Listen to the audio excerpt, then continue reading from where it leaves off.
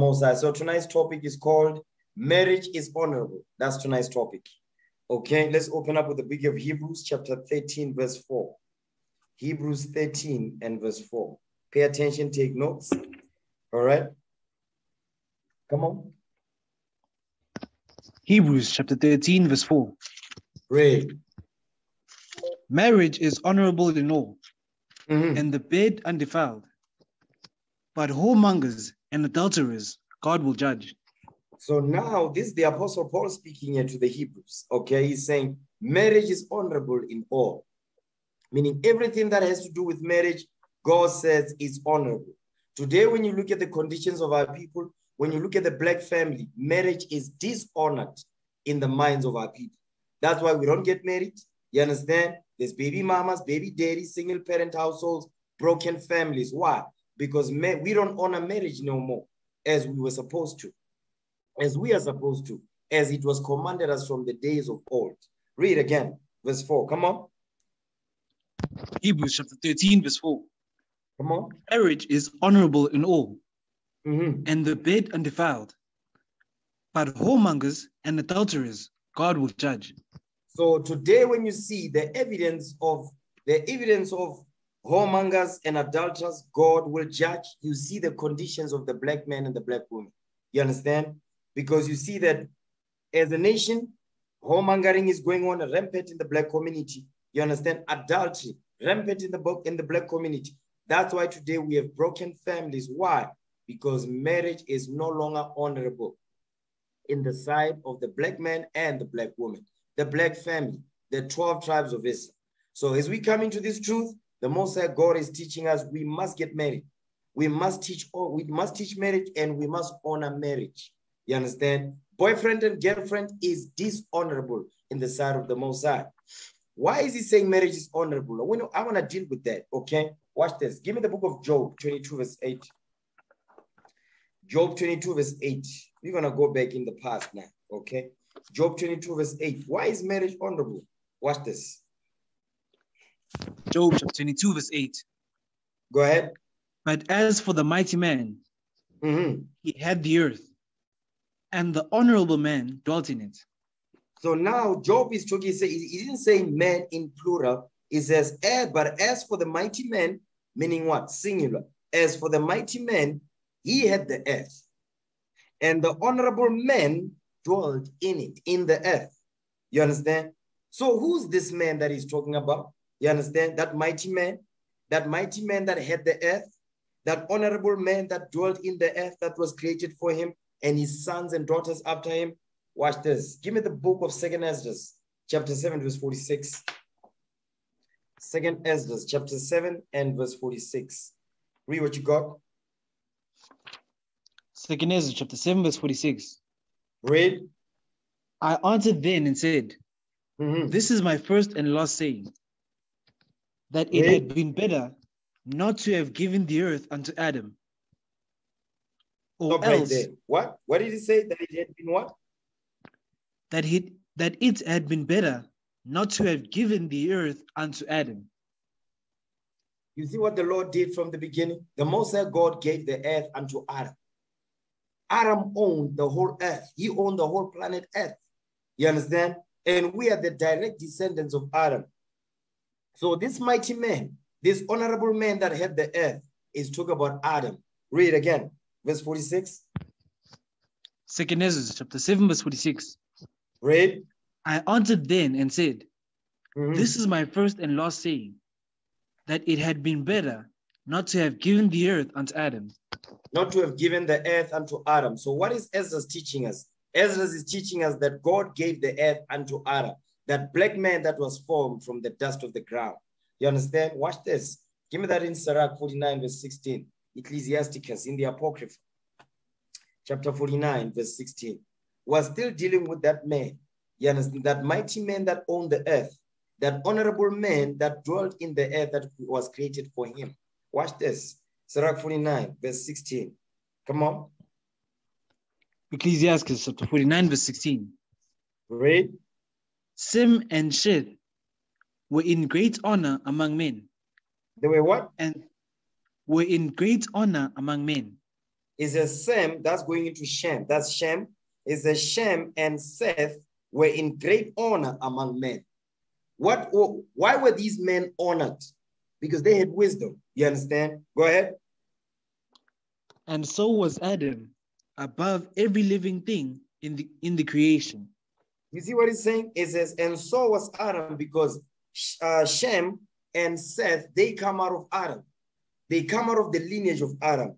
So you see, you see what he's saying? It says Sem, which is Shem, and Seth, which replaced Abel, which was killed by Cain. It says, we're in great honor among men. Okay? And so was Adam above every living thing in the creation. So Adam was honored above every living thing in the creation. That's why the descendants of Adam, they also what? They were honored among men. You understand? Watch this. Give me second Ezra, chapter 16, verse 61.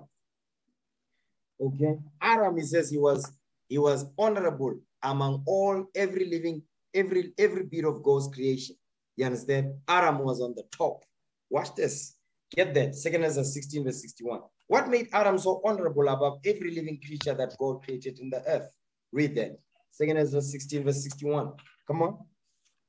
Second Ezra chapter 16, verse 61. Read. He made man and put Mhm. his heart in the midst of the body. What did he do? He made man and put his heart in the midst of the body. This man that he made is talking about Adam, the first man. Okay, that honorable man above every living creature that God made on the earth. Go ahead. And gave him breath, life, and understanding. So Adam was given breath of life. He was given breath, which is the commandment, and it gave him life. You understand? And understanding. So he had breath, life, and understanding in him. That is what was given to Adam, and that's what made Adam such a that's what made Adam so honorable above every living creature that the Lord made. You understand? What made Adam honorable, it wasn't his good looks. What made Adam honorable, it, it wasn't how good he can speak. You understand how tall he was. Mm-mm. What made Adam honorable was the breath, the life, and understanding that was given unto him by the Most High God. Read that thing again. Second Ezra chapter 16, verse 61. He made man and put his heart in the midst of the body and gave him breath, life, and understanding.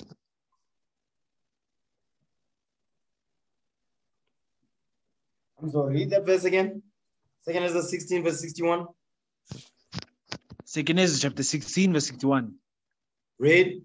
He made man and put his heart in the midst of the body Mhm. and gave him breath, life, and understanding. And gave him breath, life, and understanding. Watch this. Give me that in Wisdom of Solomon 10, verse 1. Wisdom Solomon, chapter 10, verse 1. We need to understand what made Adam so honorable. What made Adam such a God on earth? You understand? Because when you are honored in the scripts, according to the Most High God, it's based on what you applying God's laws. And that's why Adam was honorable and his descendants after him. Read that. Wisdom of Solomon 10, verse 1. Come on. Wisdom of Solomon chapter 10, verse 1. Come on. She preserved the first form father of the world Mhm. that was created alone Read. and brought him out of his fall.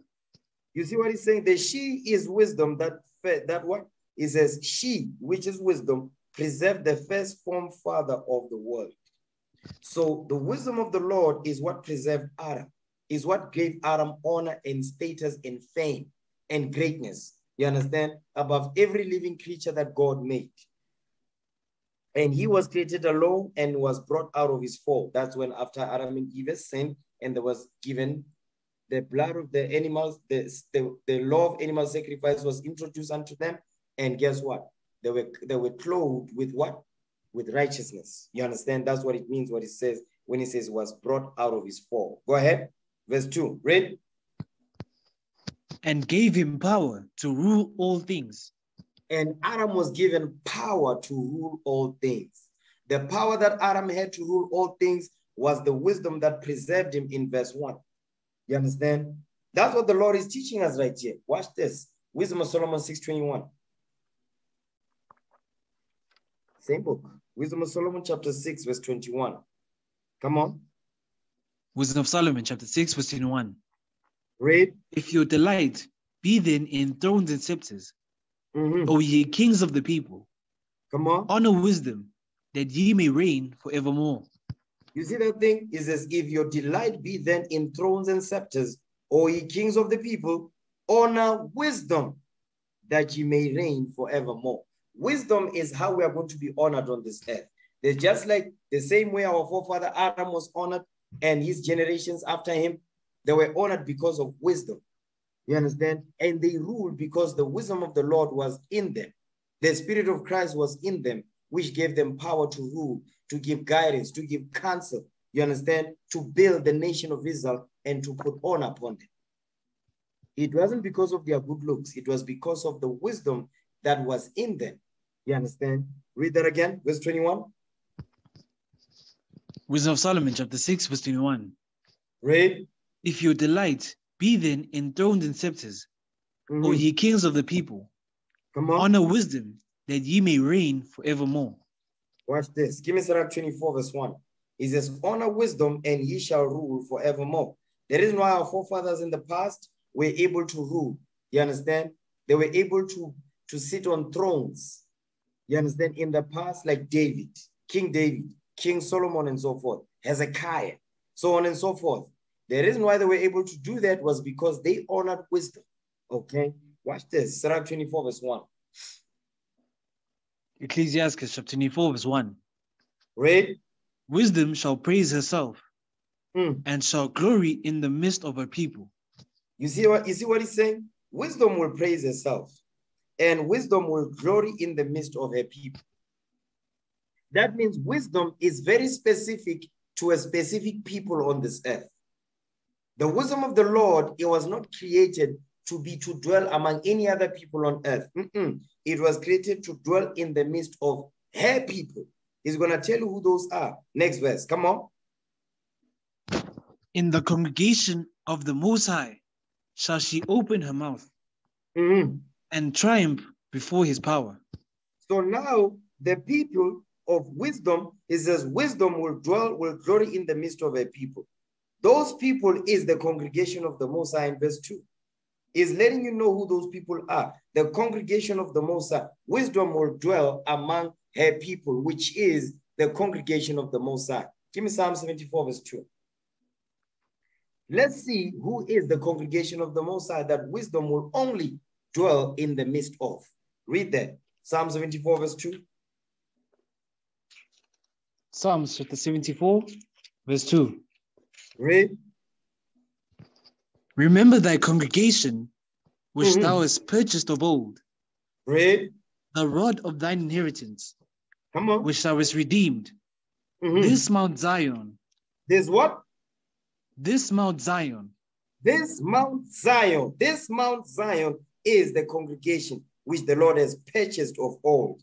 This Mount Zion. Mount Zion is another name for what? Israel. Read.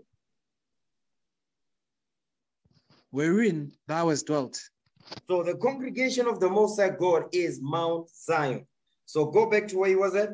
Sirach 24, verse 1 again, verse 2 again. So we understand. Okay, read. Ecclesiastes chapter 24, verse 1. Come on. Verse 2 In the congregation of the Most High shall she open her mouth Mhm. and triumph before his power. You see what he's saying? In the congregation of the Most High. Who's the congregation of the Most High? Is the 12 tribes of Israel, Mount Zion. So wisdom is not for all nations on earth. The wisdom of the Lord is only for Mount Zion, the congregation of the Lord. Go ahead. I came out of the mouth of the Most High Mhm. and covered the earth as a cloud. You see what he's saying? I came out of the mouth of the Most High. This is wisdom now. Watch this. Give me that in second. Go back to second Esdras 16, verse 61. It says, I came out of the mouth of the Most High. This is wisdom speaking now. Okay. Go back to second Esdras 16, verse 61. Second Ezra chapter 16, verse 61. Read. He made man and put his Mhm. heart in the midst of the body and gave him breath, life, and understanding. You see that thing? The, he is the Most High God that made man and put the heart in the midst of his body and gave him breath. How did he give him this breath? Watch this. Get Genesis 2, verse 7. Okay. He says, out of the Most High, he comes, he says, wisdom says she she came out of the mouth of the Most High. Watch this. Genesis 2, verse 7. Read. Genesis chapter 2, verse 7. Mhm. And the Lord God formed man of the dust of the ground and breathed into his nostrils the breath of life, Come on. and man became a living soul. So the Most High God is the one that breathed into Adam's nostrils the breath of life. What is that? God's laws. Adam was given the commandments of the Most High. You understand? Go back to where was that now? Okay. Sirach 24. Verse 3 again. Ecclesiastes chapter 24, verse 3. Read. I came out of the mouth of the Most High Mhm. and covered the earth as a cloud. Read. I dwelt in high places, and my throne is in a cloudy pillar. Okay, come on. That's in the that's where the Most High God is. Go ahead. I alone compassed the circuits of heaven Mhm. and walked in the bottom of the deep. Okay, come on. Meaning the wisdom of the Lord is everywhere. Where the Most High God is, this, this throne is, it says what? I covered the earth as a cloud. Okay. I dwelt in high places, and my throne is in a cloudy pillar. Go ahead. In the waves of the sea, and in all the earth, and in Mhm. every people and nation, I got a possession. Now that's heavy right there. It says, in the waves of the sea, and in the earth, and in every people and nation, I got a possession. This is wisdom of the Lord speaking. In every people and nation is the what? Is the people and the congregation in verse 1 and 2. The Lord, the wisdom of the Lord says, she got a possession. You understand? Read. With all these, I sought rest, Mhm. and in who and in whose inheritance shall I abide? Now the wisdom of the Lord is asking, he says, in whose inheritance shall I abide? Meaning what? In which people, which nation, you understand, should, should I abide? Come on, this is an answer. This is a question and answer situation here. Read again. Verse 7. Ecclesiastes chapter 24, verse 7. Mhm. With all these I sought rest, and in whose inheritance shall I abide? Come on. So the creator of all things gave me a commandment, Mm. and he that made me caused my tabernacle to rest, and said, Read again. Hold on. Read that verse again. Verse 8. Ecclesiastes chapter 24, verse 8. Read. So the creator of all things gave me a commandment, and he that made me caused my tabernacle to rest, Mhm. and said, Let thy dwelling be in Jacob, and thine inheritance in Israel. So now the wisdom of the Most High God coming from on high, down here on earth. You understand? Verse 7 is, is saying, with all these I sought rest. With all the above mentioned, it says, I sought rest, and in whose inheritance shall I abide? It says, so the creator of all things gave me a commandment. So the creator of all things, that's the Most High God, gave wisdom the commandment. It says, he says, What? And he that made me caused my tabernacle to rest and said, Let thy dwelling be in Jacob and thine inheritance in Israel. So of all the all the creations that the Lord made, you understand, of all the people that the Most High God made, he sought to put, he saw it fit to put wisdom in the 12 tribes of Israel. You understand? From Adam on down. Okay. That's why today we bethink ourselves. That's why today we know we Israel. Why? Because of what the Most High God saw fit to put wisdom, that wisdom should rest in the tabernacle of Jacob and in the inheritance of Israel. Go ahead. He created me from the beginning before the world, Mhm. and I shall never fail. The wisdom of the Lord will never fail. Go ahead. In the holy tabernacle I served before him, Mhm. and so was I established in Zion. You see what he's saying? He says, In the holy tabernacle I serve before him. He's talking about the Most High God in the heavens now. Because wisdom is actually who? Christ. It says, So was I established in Zion also. That's what we read in verse 8. Go ahead. Likewise, in the beloved city, he gave me rest, Mhm. and in Jerusalem was my power. Come on. And I took root in an honorable people. Stop right there. Read that again. Ecclesiastes chapter 24, verse 12. Read. And I took root in an honorable people. So wisdom says she took root in an honorable people because the reason why these honorable people were honorable above all nations on earth is because wisdom took root in them. You understand? Wisdom took root in them. Go ahead. even in the portion of the Lord's inheritance. Meaning, indeed, in the portion of the Lord's inheritance. Give me Sirach 17 17. Ecclesiasticus chapter 17, verse 17. Who is the portion of the Lord's inheritance? Okay, watch this. Sirach 17, verse 17. Ecclesiastes chapter 17, verse 17. Read. For in the division of the nations of the whole earth, Mhm. he set a ruler over every people. Come on. But Israel is the Lord's portion. But Israel is what? But Israel is the Lord's portion. So we are Israel and we are the Lord's portion. You understand? We are the Lord's portion. Go back to where was that now? Sirach 24, verse 12. Ecclesiastes chapter 24, verse 12. Mhm. And I took root in an honorable people, even in the portion of the Lord's inheritance. Which is Israel. So now it says he took root in an honorable people from Adam on down. Go back to Sirach 49, verse 16. Okay, let's go back there. Sirach 49, verse 16. Because you might be wondering, why am I going over this when we're going over marriage? It's very, very paramount what I'm going over. Just pay attention. Okay, Sirach 49, verse 16. Come on. Ecclesiastes chapter 49, verse 16. Mhm. Sem and Sheth were in great honor among men, and Read. so Adam above every living thing in the creation. You see that thing? So what made Adam honorable was what? Adam was given wisdom. Adam was given wisdom. That's why he became honorable. And the generations after Adam, they, they those that was chosen, they also became honorable and their children after them. You understand? So go back to where was that now?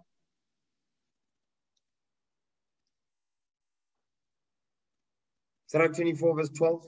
Read that again. Ecclesiastes chapter 24, verse 12. Mhm.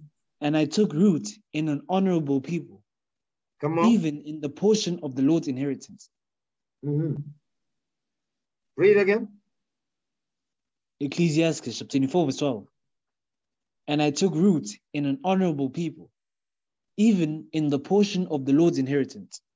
So now those honorable people, they start from Adam, then Seth, then Shem. You understand? And the children of Shem that was that was chosen, Arphaxad and so forth, Reu. Okay, when you read Genesis uh, Genesis 11, you can read about that in Genesis 11 or First Chronicles chapter 1. You can read about that. Watch this. What made Adam so honorable, you understand, is because of the wisdom of the Most High God. Watch this. The first thing that Adam was given was the breath of life, God's commandments. And God's commandments give you sense. The Most High God has to give you things in order for you to be what? To be honorable in His sight. You understand? Watch this. Give me Genesis 2, verse 7. Let's go back there. Because we read it earlier on. Genesis 2, verse 7. Read that. Genesis chapter 2, verse 7. Come on. And the Lord God formed man of the dust of the ground, Come on. and breathed into his nostrils the breath of life, Mhm. and man became a living soul. The first thing that was given to Adam was what? Wisdom. The first thing that was given to Adam was wisdom. Okay, come on, verse 8. Read. And the Lord God planted a garden eastward in Eden, Mhm. and there he put the man whom, whom he had formed. So now you see what's going on now? It says the Lord God planted a garden eastward in Eden. Now you've got vacant land, you understand? That needs to be tilled.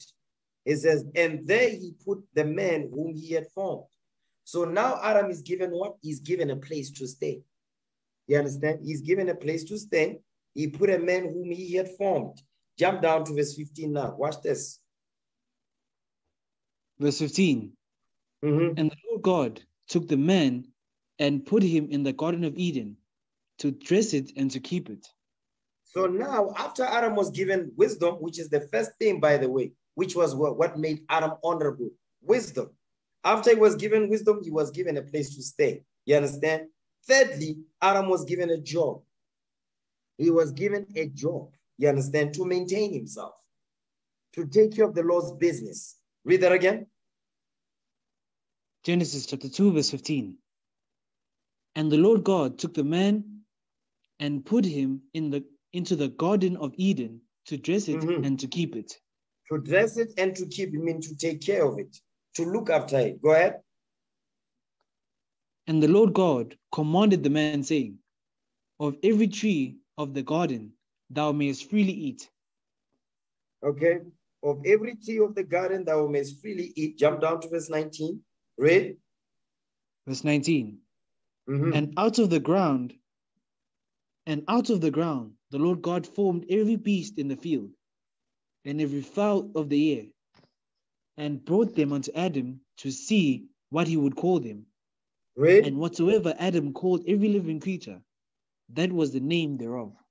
So now Adam was given a place to stay. Adam was given a job. Adam was given responsibility so that he can be accountable for the what? For the things that the Lord commanded unto him.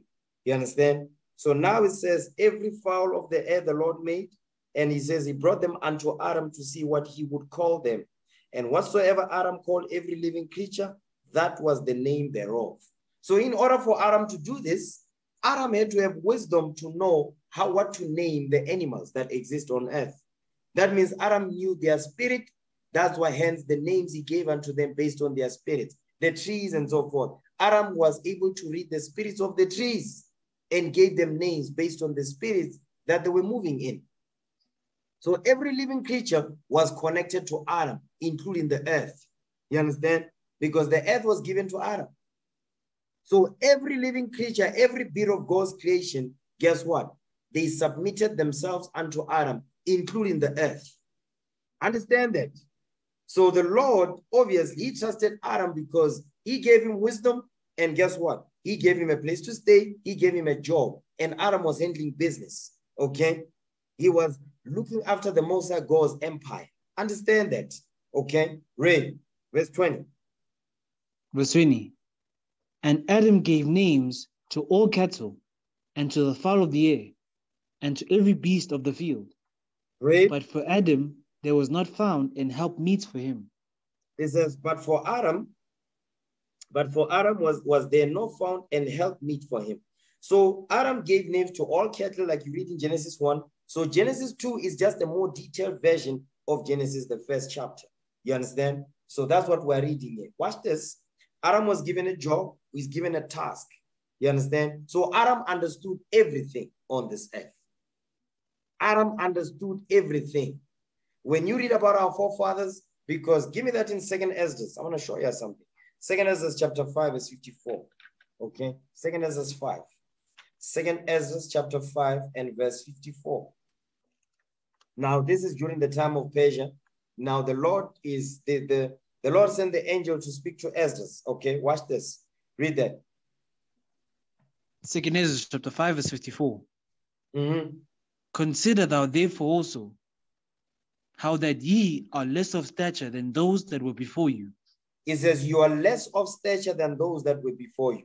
Less of stature, height, status, fame, wisdom, knowledge, understanding. So the wisdom, knowledge, and understanding that Ezra's had is nothing compared to what Adam had. You understand? Because generations later, thousands of generations later, the wisdom that the Lord bestowed upon us is started to decrease over time because of sin. So now, watch this. Let me show you something. Give me that in. Uh, give me the book of First Samuel. Okay. Give me First Samuel chapter fourteen now. Let me see. Give me First. No, Second Samuel chapter fourteen, verse twenty. Second Samuel chapter fourteen, verse twenty. Because at this point, this is when um, David's wife was taken. You understand? And he was promised to another man. Okay. And now he had to get his wife back. Okay. Because that man had not dealt with him because Saul had not killed David as yet. So he had promised Michal to another man because he was hoping that he was going to kill kill David. You understand? Once David is dead, then his the his daughter will now start to deal with that other man, like husband and husband and wife does. And that didn't happen. Watch this. Second Samuel 14, verse 20. I'm going to show you really how great we used to be. This is during the time of, of King David, right? Okay, watch this. Read that. Second Samuel chapter 14, verse 20. Mhm. To fetch about this form of speech had thy servant Joab done this thing, Come on. and my Lord is wise, Mhm. according to the wisdom of an angel of God, Read. to know all things that are in the earth. Now that's some heavy stuff right there. Our forefather King David, he says, he says what? He says, Joab is saying, My Lord is wise, talking to King David. He says, according to the wisdom of an angel of God. So the level of wisdom that King David had, he had the, the level of wisdom that an angel of the Lord would have to know all things that are in the earth. So if King David was able to understand all these things, how much more Adam? You understand? I mean, you really have to think about that. How much more our forefather Adam? What level was he on? You understand? Read that thing again, verse 20. Second Samuel chapter 14, verse 20. Read. To fetch about this form of speech had thy servant Joab done this thing, Mhm. and my Lord is wise, according Read. to the wisdom of an angel of God, to know all things that are in the earth. You see that? Because the angels, they know everything. The angel of the Lord, they know everything that is happening on earth.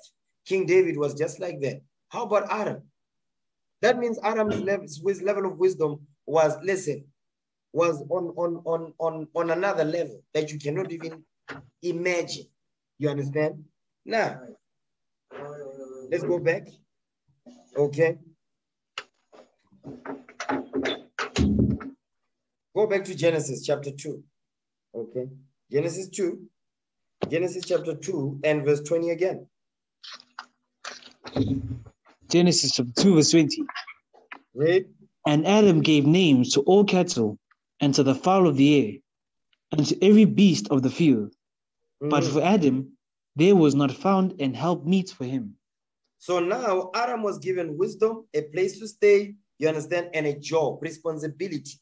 And Adam was given the task of naming all the every bit of God's creation. Adam gave it names. Adam had to understand everything about that creature. The spirit also that was put in that creature. Adam understood all that. You understand? He understood the end, how the end. Today, you see the white man, he been putting cameras on the end, trying to figure out how they behave and all that, the end colony. Adam didn't have to do none of that stuff.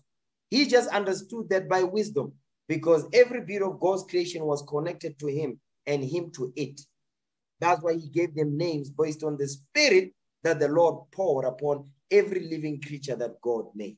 So Adam was on another level. Adam was a God on earth. Understand that thing. That's what made him honorable. You understand? And he was trustworthy, trustworthy in the sight of the Lord. That's why the Lord gave him responsibility such as this. Now watch this. Give me the book of Sirach, chapter 7, verse 15. Ecclesiasticus, chapter 7, verse 15. So you brothers, you need to understand the first thing that you need to attain is the wisdom of the Lord. You're not going to receive that wisdom if you don't humble down and apply what this Bible says. Seek counsel, apply, follow, follow the process. You understand? You're not going to be able to attain that wisdom. Understand that. Read that. Sirach 7:15. Ecclesiasticus chapter 7, verse 15. Mhm. Hate not laborers' work, You see what the Bible is saying? Because Adam was given a job, labor. Okay, read that again. Ecclesiasticus chapter 7, verse 15. Read. Hate not laborers' work, Don't hate laborers' work. Come on. neither husbandry, Husbandry goes into what? Goes into um, farming, goes into dealing with farms and so forth, crops, agriculture, and so forth. That's why Adam says he was given what? He was put in the Garden of Eden to till the ground. You understand? To take care of it, to keep it, and to dress it. That's why it says, don't hate laborers' work, neither husbandry. Go ahead. which the Most High hath ordained. because the Most High had ordained laborers' work and husbandry as from the beginning in Genesis. You understand? Give me Matthew 6, verse 33. Watch this. Let's see what the Son of God said about this thing. Matthew 6, verse 33. Read what you got.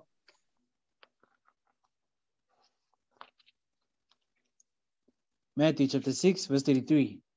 Come on. Matthew chapter 6, verse 33. But seek ye first the kingdom of God and his righteousness, and all these things shall be added unto you. You see what the Bible, this is Christ speaking. He says, But seek ye first, first, first the kingdom of God, meaning rulership, and his righteousness. Because in order for you to get rulership, you must seek the righteousness of the Most High God first. It says, And all these things shall be added unto you. What is Christ teaching us here? Priority. The Lord is giving us steps on how to what? How to attain wisdom and how to receive the kingdom of heaven on earth and rulership of all nations on earth. The first thing that you must seek is what? The kingdom of heaven, the kingdom of God, and his righteousness. The God's commandment, wisdom. Just like Adam was given, that's the first thing that the Lord gave unto him. Okay? It says, and all these things shall be added unto you. What does that mean? Watch this. Jump up to verse 25. Matthew 6, verse 25. Put your put some power in your reading. Come on. Matthew chapter 6, verse 25. Come on. Therefore I say unto you, take Mhm. no thought for your life, Read, what ye shall eat, or what ye shall drink, read. nor yet for your body, what ye shall put on. Is not the life more? Is not the life more than meat, and the Come on. body more than raiment? So now Christ is saying, He says, they take no thought for your life, what ye shall eat, what ye shall drink, nor yet for your body. What shall we, what, what ye shall put on? Is not the life more than meat? What was given to Adam? The breath of life. That is the first thing that was given unto him. And the body than raiment. Because the Lord created, he formed Adam out of the what? The dust of the ground, and he breathed life into him, which is what? The breath of life, God's commandments. So he's saying, listen, take no thought about these things because Adam didn't have to take thought about those things because the Lord provided them. You understand that? The Most High God provided them in the garden already. The first thing that was given to Adam was what? The commandments. He was given laws, statutes, and commandments. Wisdom was given unto him. That's what he said right there. Go ahead. Behold, the fowls of the air, for they sow not, neither do they Mhm. reap, nor Right. gather into barns, yet your heavenly Father feedeth them. Are ye not much better than they? You see what he's saying? It says, Behold, he says, Look at the fowls of the air that we read about in Genesis 2, that he, Adam had to name. You understand? He says, Neither do they leap, nor gather into barns, yet your heavenly Father feedeth them. Are ye not much better than they? Yes. So that's what he's saying, because all of these living creatures that was created, they were created to what? To obey and, and obey and submit to us. Every bit of God's creation, including the people as well. You understand? Jump down. Jump down to verse, read verse 30 now. Come on. Verse 30. Wherefore, if God so clothe the grass of the field, Mhm. which today is, and tomorrow is cast into the oven, Read. shall he not much more clothe you, O ye of little faith? You see what he's saying? He says, Shall he not much more clothe you, O ye of little faith? He says, You have little faith. You must, he says, have faith. Okay, come on. Therefore, take no thought, saying, What shall we eat? Or what shall we drink? Or wherewithal shall we be clothed? Come on. For after all these things do the Gentiles seek. For your heavenly Father knoweth that ye have need of all these things. He says, Because your heavenly Father know that you have need of all these things. Ma- Notice what Christ is mentioning. He's mentioning what? Verse 31 says, What shall we eat? That's food. What shall we drink? That's drink. Thirst. And what shall we what shall we be clothed? That's nakedness. You understand? So these are the basic things in life. The Lord is saying, listen, the, the Most High God will provide these things, just like he did for Adam in the garden. You understand? So will he do for you this day. That's what he said right there. But the first thing that he said you must ask for is what? Next verse. Come on. But seek ye first the kingdom of God and his Mhm. righteousness, and all these things shall be added unto you. and all these things shall be added unto you. Watch this. Give me Sirach 39, verse 26. Adam was given wisdom, right? He was given wisdom. He was given a place to stay, he was given a job, responsibility, and all that. But the first thing that was given unto him was wisdom. Okay? Read that. Sirach 39, 26. Ecclesiasticus chapter 39, verse 26. Read. The principal things for the whole use of man's life are water, Stop right Fire. there. The principal things, meaning what? The main important things for the whole use of man's life. For the whole use of man's life. The principal things, the important things. You understand? Read that again. Ecclesiasticus 39, verse 26. The principal things for the whole use of man's life are water, Mhm. fire, iron, and salt, Mhm. flour of wheat, honey, milk, and the blood of the grape, and oil and clothing. Where do these things come from? They come from the ground. The ground that was given, that was commanded to Adam said, listen, you must keep this ground and you must till it. You must take care of it. You must work the land. All of these things that we're reading here, they come from the ground. You understand? But Adam was what? He was given wisdom first. All these things were added unto him that we're reading here. You understand? Come on. All these things are good for the are good to the godly. So to the sinners they are turned into evil. So to the sinners, they are turned into evil because we lost everything because of our sins. Now, Sirach 29, 21. Sirach 29, verse 21. Read that. Ecclesiasticus chapter 9, verse 21. Read. The chief thing for life is water, Mhm. and bread and clothing, and an house to cover shame. All of these things, these are the principal things for the whole use of man's life, which was added unto Adam after he received wisdom first and foremost. You understand? All these things will be will be taken care of. The Lord says, I'm to provide these things for you.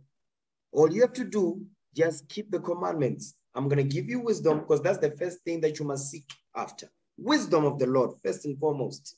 Okay? Watch this. Now, I want to show you something, brothers. Okay? Because what you need to understand, I'm trying to show you something here. We read in Hebrews 13, verse 4, says, marriage is honorable. What's bringing honor into marriage is or everything that we just read, those are the first steps to bring honor into a marriage. You understand? But before you can think about marriage, guess what? The first thing that you must come to your mind. The first thing that comes to your mind is what? Wisdom of the Lord, first and foremost. You understand? The wisdom of the Lord, you must apply it, you must understand it inside out. So you can be closer to the Lord and it will provide all these things unto you, including a wife, a family, how to build a nation. You understand? You need to understand that thing. Watch this. Give me, give me the book of Genesis, okay? Give me Genesis 2, verse 18. Genesis 2, verse 18. Watch this. Genesis chapter 2, verse 18. Read. And the Lord God said, It is not good that the man that the man should be alone. I Mhm. will make him and help meet for him. Now, this is heavy right here. You see that part when it says, And the Lord God said, It is not good that the man should be alone. I will make him and help meet for him. Now, I'm going to show you something here with this. Okay. So you cannot, you cannot, before you think of a wife, you understand? You think of a woman, right? But before you think of a woman, you must first examine are you a man first? You cannot think of a woman without you thinking, without you examining if you're a man, according to the scriptures. Because a lot of you, you just think lust, lust, lust, having sex and all of that's what you think about. because you're what? You are still dealing with those youthful lusts. So sex is in your head, both men and women. Okay? Some are in denial. But watch this. Read that thing again. Verse 18. Genesis 2, verse 18. Genesis chapter 2, verse 18. Go ahead. And the Lord God said, It is not good that the man should be alone. Mhm. I will make him and help meet for him. I will make him and help meet for him. And help meet. The word meet means good. I will make him and help good for him because it is not good that is is without one. That's what the Lord is saying right there. But before you can think of a woman, you must first examine if you yourself are a man. You understand? Because a lot of you don't do that. You be lusting after sisters, but you don't first examine if you are a man. Sisters do the same thing. They be lusting after brothers, but they don't think if they are a woman first. Yes, you are a woman, you are a girl. You understand? You've got all the reproductive parts that says you're a woman. But according to the scriptures, that's not what it means to be a woman. Right? It's more than that. It's more than just giving birth and so forth. It's more than just you lying on your back. You understand? Watch this. Give me, hmm, jump down to verse 20. Read verse 20. Genesis 2, verse 20. Genesis chapter 2, verse 20. Mhm. And Adam gave names to all cattle, and to the fowl of the air, and to every beast of the field. But for Adam there was not found in help meet for him. That's the part we want to deal with. But for Adam, there was not found and help meet for him, and help good for him. Okay, come on, verse 21. And the Lord God caused a deep sleep to fall upon Adam, Mhm. and he slipped. And he took one of his ribs and closed up the flesh instead thereof. So now the Lord is what is gonna what is gonna create and help meet for Adam, and help good for Adam, because Adam was already good in the sight of the Lord. Adam had already built a reputation with the Most High. You understand? Now the Lord is gonna create and help that is good for Adam. You understand? Because Adam at this point he had everything. Adam didn't lack nothing. He had wisdom. You understand? He had power. Okay. He had fame. He had a job. He had a place to stay. He was ruling over the empire, which is the earth and everything in it. So Adam was already on that level. You understand? He had built a good report for himself with the Lord at this point. Okay. Read that again, verse 21. Genesis chapter 2, verse 21. Mhm. And the Lord God caused a deep sleep to fall upon Adam, Read. and he slept. And he took one of his ribs and closed up the flesh instead thereof. So Adam's flesh. So Adam's flesh, this woman that is going to be formed out of Adam, that, that this woman that is going to be formed will be formed out of Adam's flesh and bones. Go ahead. And the rib which the Lord God had taken from man made he a woman and brought her unto the man. So Eve was created out of Adam and she was brought to Adam like a father hands, hands over their daughter to her husband. You understand? Like we read in Tobit 7, verse 13. Yes, that's what we're reading it. Okay. It says, And the rib which the Lord God had taken from man made a woman and brought her unto the man. So there's no point where the woman was by herself. You don't read about that in the scriptures. Like you see, unlike you see today with our sisters. They don't want, they don't want to be told what to do. They don't want to be told how to do. Let me tell you something, sisters. You have no mind of your own. Let me say that again in case I started. You sisters, you've got that Jezebel spirit. Listen, you have no mind of your own. You have no opinions. You understand? Because your mind must be after what? After your husband's mind if you are married. If not, you must be after your leadership's mind if you're not married, because they are fathers unto you to guide you and to teach you. You understand? And we as men, we have no mind of our own.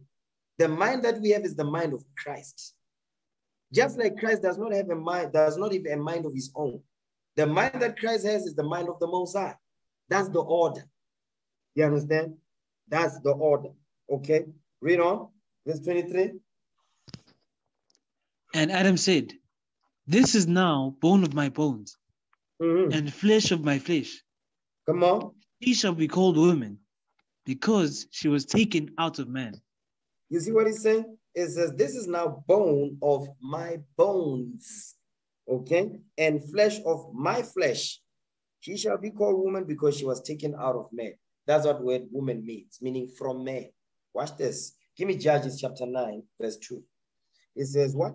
It says, This is now bone of my bones and flesh of my flesh. Give me Judges 9, verse 2. Judges.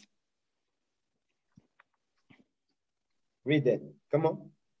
Judges chapter 9, verse 2. Read. Speak, I pray you, in the ears of all the men of Shechem, Mhm. whether is better for you, either that all the sons of Je- Jerubbaal, which are three score and ten persons, reign over you, or that one reign over you. Read. Remember also that I am your bone and your flesh. You see what he's saying? He says, Remember also that I am your bone and your flesh. What is he talking about? We family. That's what he's saying right there. It says, Remember also that I am your bone and your flesh, just like Adam, just like Eve was. You understand? That's why Adam said what he said. It says, You are what? Bone of my bones and flesh of my flesh. That's why later on Adam prophesied how marriage was going to be. That what? Men shall leave father and mother, and they two shall be one flesh. Why? Because Eve was taken out of Adam, out of Adam's own flesh. That's why he said what he said when he prophesied in Genesis 2:24. Go back to where he was at now. Okay, Genesis 2. Genesis chapter 2, verse 22. Is it verse 23? Mm, verse 23. Read that. Genesis chapter 2, verse 23. Read. And Adam said, This is now bone of my bones and Mhm. flesh of my flesh. She shall be called woman because she was taken out of man. Now that's heavy right there. It says, bone of my bones and flesh of my flesh. So when he says the two shall be one flesh, why? Because you were taken directly out of Adam. You understand? Bone of my bones and flesh of my flesh. We shall be one because you come from me. That's some heavy stuff right there. You understand? So now imagine you come from the man, okay? You come from the man, and now you are you are you are you because of because of what because you want to be equal or above the man that you come from now you are estranged from that man isn't that something that's some heavy stuff right there think about that now you are estranged from that man that's some heavy stuff right there watch this give me the book of tobit 6 verse 17 tobit chapter 6 verse 17 read that because Eve was created for Adam. You understand? Eve was created to serve Adam, to glorify Adam, just like Adam was created to glorify the Most High. Read that. Tobit 6, verse 17. Come on. Tobit chapter 6, verse 17. Read. And the devil shall smell it Mhm. and flee away and never come again anymore. But when thou shalt come to her, rise up both of you and pray to God, which is merciful, who will have pity on you and save you. Fear not, for she is appointed unto thee from the beginning. Stop right there. What did he say? Fear not, for she is appointed unto thee from the beginning.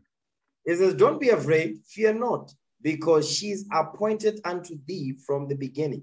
That's what we're reading in Genesis 2. Eve was appointed to Adam from the beginning. You understand? Bone of my bones, flesh of my flesh. It says, For she is appointed unto thee from the beginning. Go ahead.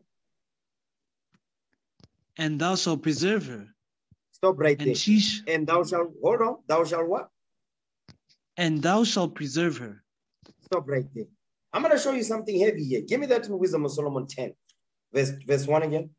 Wisdom of Solomon 10, verse 1. It says, And thou shalt preserve it. She was appointed unto thee from the beginning, and you, the man, shall preserve this woman. How? Watch this. Wisdom of Solomon 10, verse 1. Read that. Wisdom of Solomon, chapter 10, verse 1. Mhm. She preserved the first form father of the world. He did what? She preserved the first form father of the world. She preserved, she preserved, she preserved the first form father of the world. The she that is wisdom that preserved Adam from the beginning. So the same wisdom that preserved Adam from the beginning and kept Adam to be an honorable man, to be a God on earth, to be bestowed with wisdom, knowledge, and understanding above every bit of God's creation. Guess what? The same wisdom that is in Adam is the same wisdom that is going to preserve Eve. How? Because Adam will have to teach Eve, his wife, because Eve doesn't know nothing. Eve, when she came, she did not have anything in her head. It was the job of Adam to do what? To fill that mind with God's wisdom, to preserve it from being a simp, from being a bum. Because women can be bums too. Women can be simps too. As soon as long as you are rebellious as a sister, as long as you are given an instruction, you don't want to do it, you are passive aggressive, you are a simp. You understand? You are a simp. You have a weak mind. So a lot of the times when sisters be rebellious, backing up, not wanting to apply, guess what? That's a simp sister. That's the life woman. You understand? So what are we reading here? The Lord is teaching us how to preserve our sisters, just like the Lord is preserving us with this wisdom. Read that thing again, verse 1. Wisdom of Solomon, chapter 10, verse 1. Read. He preserved the firstborn father of the world Come on. that was created alone Mhm. and brought him out of his fall. and brought him out of his fall. You, you understand? So the wisdom that preserved Adam to have to be a to be a God on earth is the same wisdom that is going to preserve Eve from being a simp. Okay, go back to where was it? Tobit 6, verse 17. Read from the point where it says, Fear not, for she is appointed unto thee from the beginning. Read that. Tobit chapter 6, verse 17. Come on. Fear not, for she is appointed unto thee from the beginning, Read. and thou shalt preserve her, Mhm. and she shall go with thee. You see that thing? She shall go with thee. So if she's going with the man, she's following the man. Wherever the man is going, she's following along. You understand? Because what? She's submitting herself to this man. Anything and everything she wants to learn and know about, she must go to this man who's be, who's what? Who's endowed with wisdom, knowledge, and understanding from the Most High God Himself. You understand? That's how our sisters was empowered back then. That's how Eve was empowered. Why? Because the black man was in full power over every, every bit of God's creation on earth. You understand? That's why our, our foremothers, they had such, such wisdom because they reverence their husbands. Their daughters in Israel, they reverence their fathers. That's why when you read about them, you see they said they were they was full of good works. They had wisdom. Why? Because they were not disrespectful to their parents. You understand? Because they are not supposed to be by themselves. They're not supposed to have that independent mindset like is prevalent among our black women today. Okay, watch this. He says, She's appointed unto thee from the beginning. It says, And what? And thou shalt preserve her, and she shall go with thee. Watch this. Hmm. Now, go back, go back to where was that? Okay. Let's go back to where was that now? Genesis 2, verse 23. Watch this. Come on. This is chapter 2, verse 23. Read. And Adam said, This is now bone of my bones and Mhm. flesh of my flesh. Come on. She shall be called woman because she was taken out of man. because she was taken out of man. Now, watch this. Now, what made Adam such a God on earth? He says he had power to rule all things. Adam was a God on earth. Now, because in order for Adam to understand that, okay, the Lord saw fit to give Adam a wife. That's what you need to understand. The Lord saw fit to give Adam a wife that was going to be good for him. And how was this woman going to be good for Adam? Because Adam had enough wisdom to be able to educate this woman, to fill her mind and spirit with wisdom. You understand? To take away her reproach. Watch this. Give me the book of First Kings, chapter 2, verse 2. Because Adam was a man in the sight of the Lord. That's what you need, you men need to understand. Before you think of a woman, you must first establish and examine are you a man in the sight of the Lord? And if so, are you keeping all of God's commandments? Are you not simping? Are you not uh, playing church? You understand? You need to ask yourself those questions before you can even think of a sister. If a sister comes to mind, ask yourself, am I a man like our forefather Adam was, our forefather Abraham was, before God saw it fit to give a wife unto them? Okay, read that. First Kings 2, verse 2. Read. First Kings chapter 2, verse 2. Come on. I go the way of all the earth. Mhm. Be thou strong therefore, and show thyself a man. Now, this is King David talking to his son Solomon. Read verse 1 so we can understand. First Kings chapter 2, verse 1. Mhm, Now the days of David drew nigh that he should die, mhm. and he charged Solomon his son, saying, Read. I go the way of all the earth. Be thou strong therefore, and show thyself a man. So now in verse 1, it says that the, it says what the days of David drew nigh that he should die. So David was about to die. You understand? He was to he was about to be gathered to unto his fathers. And before he did that, he charged Solomon, meaning he commanded Solomon his son, saying, I go the way of all the earth. What does that mean? Give me Sirach 41, verse 3. Because it's explained in verse 1 when it says, The days of David drew nigh that he should die. Then it says, I go the way of all the earth. Watch this. Sirach 41, verse 3. Ecclesiasticus chapter 41, verse 3. Go ahead. Fear not the sentence of death. Mhm. Remember them that have been before thee, and that come after. For Come this on. is the sentence of the Lord over all flesh. The sentence of the Lord over all flesh is death. The sentence of the of, of the sentence of the Lord over all flesh is death. That's why David says, I go the way of all the earth, because all our days are numbered on this earth. Watch this. Give me that in Job chapter 20, real quick. Job 20. Okay.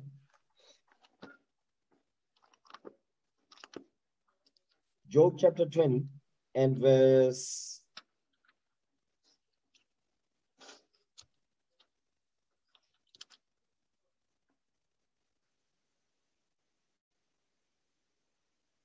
Uh, start at verse, start at verse two. I think that's what I want. Job chapter 20, verse 2. Therefore do my thoughts cause no. me to answer. I'm sorry. No, no, no, no, not Job 20. Okay, Job 14. Yeah, that's what I want right there. Job 14, verse 1. Read that. Job chapter 14, verse 1. Come on. Man that is born of a woman is of few days and full of trouble. He says, Man that is born of a woman is of few days and full of trouble. You understand? Because in, in this lifetime, we are born of woman, okay? Meaning what? We are born here on this earth the way that we are born, and our lifespan is short. Okay? Read. He cometh forth like a flower Hmm. and is cut down. He fleeth also as a shadow and continueth not. You see what the Lord is saying? He says, We come in like a flower and we are cut down. He fleeth also as a shadow and continueth not because we die. Go ahead. And dost thou open thine eyes upon such an one, and bringest me into judgment with thee?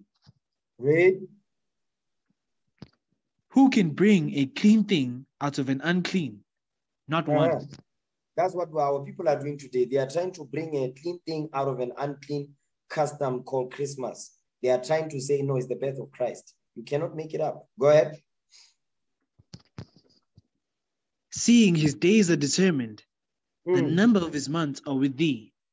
Come on. Thou hast appointed his bounds, that he cannot pass. You see what the Bible is saying? It says, seeing his days are determined, meaning our days on earth are limited. The number of his months are with thee. So the Lord even knows how you're going to die on this year. You understand? You're going to die when you are X amount of years and X amount of months. The Lord already knows that. It's already set. You cannot go beyond that. You understand? That's why it says, Thou has appointed his bounds that he cannot pass. Read. Turn from him, that he may rest, till he shall accomplish, as an hireling his day. You see that thing? Because we come in, we live, and we die.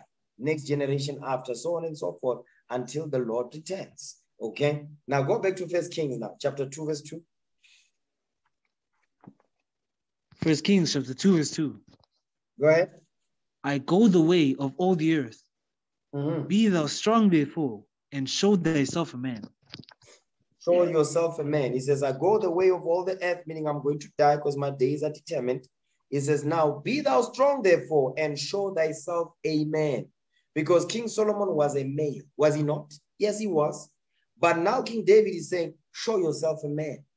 That means just because you are a male does not mean you are a man. You have to be vetted with the laws of God to prove yourself to be a man. David is going to tell his son Solomon how to become one. Next verse. Come on. And keep the charge of the Lord thy God, That's the first thing to do. Keep the charge of the Lord your God. Read on. to walk in his ways, Read. to keep his statutes, Uh-huh. and his commandments, and his judgments, and his testimonies, as it is written in the law of Moses.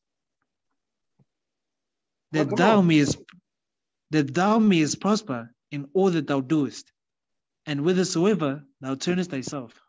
So you see what it means? It says, listen, this is what it means to be a man. Walk in all his ways, to keep his statutes and his commandments and his judgments and his testimonies, as it is written in the law. You understand? Of Moses, that you may prosper in all that you do, and whithersoever thou turnest thyself. So David is teaching his son how to be a man. So before you can think of being of think of a sister, you must think of you must check. I am I a man in the sight of the Lord, or am I just a male? You must ask yourself those questions. Because a lot of you, you're just thinking, when a woman pops into your head, you're thinking sex. Mm-mm. Think, are you a man? Because Adam was fit to be a man, so much so that the Lord saw fit to send him and help good for him. You understand? So likewise, this day is the same thing. You understand? It's the same thing this day. Watch this. Give me. Now, the second thing that you need to understand is this. Whenever you, when you think of us or woman, you must what? You must think, am I a man in the sight of the Lord? Secondly, the minute you think that, because you will understand, okay, these are the things, these are requirements that I need to meet in order for me to become a man in the sight of the Lord. Secondly, now you think of a wife. Because you cannot think of a woman, now wife must pop up. Because now you think of a, a woman, now, okay, I'm a man. Hmm, am I a man? If it's a yes, then what happens next? Wife. You see that? So that means if it's wife, that means guess what comes to your head? Husband. Lord. And as a husband, you can be a simp. Neither can you marry a simp sister. You understand? So you need to constantly be what? You need to constantly be looking at the opposite. Or okay, yes, I want a, I want a woman, but am I man enough to have a woman? If the answer is no, don't don't go any further. Secondly, once you say "Mm, I'm a man enough now, understand the scriptures and apply them, you understand so on and so forth. Now you start thinking about a wife. Okay, am I prepared to be a husband? That's what must come to your head. You understand? You need to understand, and there's steps to that. Man, husband, because now that's another level of leadership. You understand? So these are steps to understand what it means when it says marriage is honorable.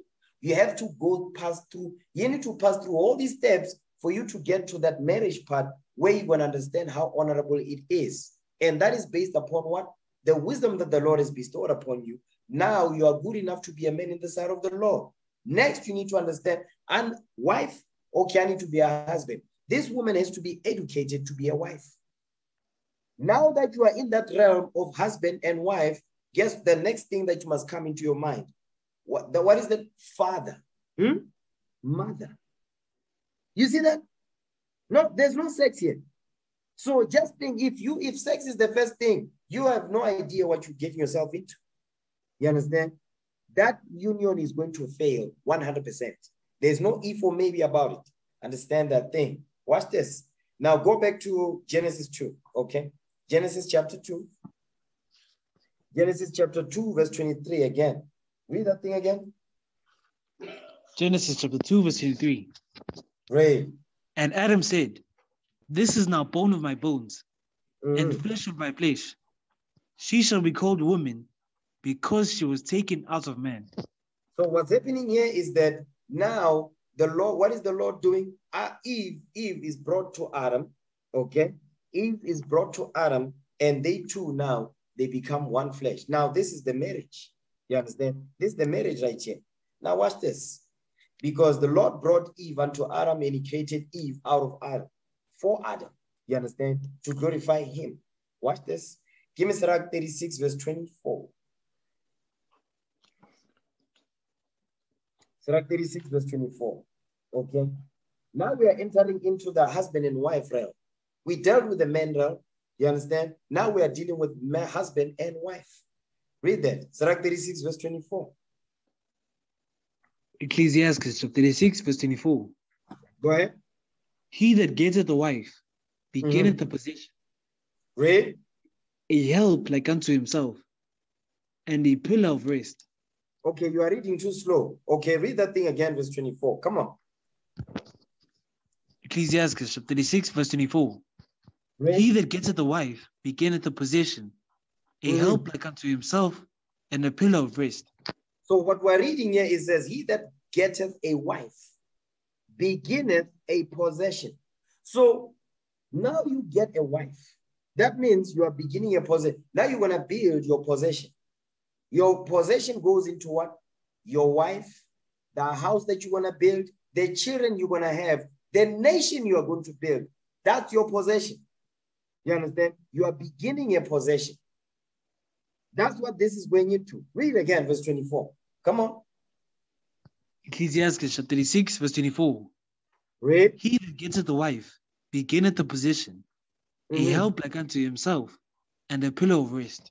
A help like unto himself and a pillar of rest. I want to back up a little bit. Give me Genesis 2.24. I'm jumping ahead a little bit, but it's okay. Genesis 2.24. I'm going to show you something with this verse right here. Genesis 2, verse 24. Read that. Genesis chapter 2, verse 24. Mhm. Therefore shall a man leave his father and his mother, and shall cleave unto his wife, Mhm. and they shall be one flesh. So now Adam is prophesying how marriage is going to be. It says, Therefore shall man leave his father and mother and shall cleave unto his wife, and they shall be one flesh. The reason why he's saying they shall be one flesh is because in verse 23, read verse 23 again so we understand. Genesis chapter 2, verse 23. Come on. And Adam said, This is now bone of my bones, and Mhm. flesh of my flesh. Come on. She shall be called woman, because she was taken out of man. Because she was taken out of man, bone of my bones, flesh of my flesh. That's why he said in verse 24, these two shall, he says, they and they shall be one flesh. Why? Because he was one flesh with his wife. His wife was one flesh, was one with him. The wife was one with Adam. Eve was one with Adam. That's why now he's prophesying how marriage is going to be, because the two must be one flesh. Now, Adam is prophesying how the future marriage is going to look like based on his current marriage, on how it looks like. Everybody, everybody understand that? Yes, sir. He's basing it on that. You understand? Yes, sir. now, watch this. Now, give me, give me, go back to Sirach 36 24. He's basing it on his current marriage because he says, bone of my bones, flesh of my flesh. That's why he's prophesying how future marriages are going to look like based on how his marriage looks like. Okay. His marriage is the blueprint on how future marriages are supposed to look like in the spirit of Christ. Read that. Sirach 36 24. Come on. Ecclesiasticus chapter 36, verse 24. Read. He that getteth a wife beginneth a possession, a Mhm. help like unto himself, and the pillow of rest. So now he says, if you get a wife, you beginning a possession, a help like unto himself, like unto himself, like unto himself. Meaning what? Flesh of my flesh, bone of my bones, one flesh, and a pillar of rest. Watch this. Give me Sirach 7, 726 now. It says, He that getteth a wife beginneth a possession. We're going to deal with that. A help like unto himself. What does that mean? A help like unto himself. He didn't say a help like unto herself. No. The woman must follow the husband. The woman must follow the man. That's the order. Like we read in Tobit 6:17. Now read that. Okay. Sirach 7:26. Come on. Ecclesiasticus chapter 7, verse 26. Read. Hast thou a wife after thy mind? Mhm. Forsake her not, but give not thyself over to a light woman. You see what the Bible is saying? It says, Hast thou a wife after thy mind? That's why it says, A help like unto himself. Do you have a wife after your mind? Meaning, this woman must be a help like unto you. Meaning, what? Her mind must mirror your mind. Her thought process must mirror your thought process. She must follow you because you are her Lord. You understand? You men understand that? So her mind must be after your mind. That's how you become one flesh. Flesh of my flesh, bone of my bones. So a help like unto himself and a pillar of rest. So this woman cannot be a simp. And how do you prevent this woman from being a simp? Your job is to educate this woman. But if she does not be, if she does not want to be educated, she will remain a simp. You understand? And sisters like that, you brothers must stay away from a sister like that because she will what? She will make your life a living hell. She will make your life miserable. Understand that? Okay. Read that thing again. Ecclesiasticus 7, verse 26. Read. Hast thou a wife after thy mind? Forsake her not, but give not thyself over to a light woman. It says, but give not yourself over to a light woman. Don't give yours, because listen, you the prize, you the gold. How do you give yourself over to a dumb system? That means you have a low self-esteem. You understand? You are a simp. Okay, watch this. Give me the book of Second Ezra, chapter 3, verse 5. Because why is Adam saying this? Adam is prophesying how future, future marriages are going to look like based on his current one. Because what did Adam do to make sure that they too was one flesh? What did Adam do? Second Ezra 3, verse 5. Watch this. Second Ezra, chapter 3, verse 5. Second chapter 3, verse 5. Mhm. And gavest a body unto Adam without soul, Read. which was the workmanship of thine hands, and didst breathe into him the breath of life, and he was made living before thee. So Adam was given the breath of life, okay? And when he was alive before the Lord, he had wisdom. Jump down to verse 7. Verse 7 And gavest, and unto him thou gavest commandment to love thy way, What did the Lord do? he, and unto him thou gavest commandments to love thy way. So unto Adam was given commandments. So Adam was given the commandments. Adam was given God's laws. Watch this. So Adam to make sure that that he, he- to make sure that Eve was on one accord with him. What did Adam have to do? Adam taught his wife. Adam commanded his wife. Adam ruled over his house with the laws of God. You understand? That's when Adam was still in his right mind. You understand? That's what he did. He did that thing. And he pleased the Lord. Okay. Watch this. First Corinthians 1, verse 10. Because they became one flesh. How did they become one flesh? Because Adam had to make sure that this woman's mind is after his mind. They all speak and think the same, the same thing. They move as one. Okay. How did he do that? He commanded his wife. He didn't ask, he didn't beg, he commanded his wife. He set his house in order according to the scriptures. Okay, read that. Yes, sir. First Corinthians chapter 1, verse 10. Come on. First Corinthians chapter 1, verse 10. Read. First Corinthians chapter 1, verse 10. Now I beseech you, brethren, by the name of our Lord Jesus Christ, that ye all speak the same thing, Read. and that there be no divisions among you, Mhm. but that ye be perfectly joined together in the same mind and in the same judgment. You see what the Lord is saying? It says that you what? In the name of our Lord Jesus Christ, that you all speak the same thing. So that means Eve, this everything that Eve will speak is the things that she was taught by Adam. You understand? She will speak the same things that Adam would speak, that there be no divisions among you, so that there's no division in the marriage, that they move as one. So Adam is prophesying how marriages are going to be based on how he's con- he's what he's setting his house in order based on the wisdom that the Lord bestowed upon him. That's why he was able to say what he says what he said in Genesis 2:24. You understand? That ye be perfectly joined together in the same mind and in the same judgment. What does that mean? The same mind. Remember what we read in Sirach 7:26. You understand? Has thou a wife after thy mind? This woman must reverence you. She must reverence everything about you, including your mind, most importantly above all. Because with your mind, you serve the laws of God. The same way, she must serve you with the what? With the same mind that you got. Because you are teaching her God's commandments. You are guiding her according to the scriptures, how she must behave. You understand? So that she doesn't speak her own thoughts. She doesn't have her own opinions, but everything that she speaks is based on the things that you taught her, as it is written. You understand? Read that thing again, verse 10.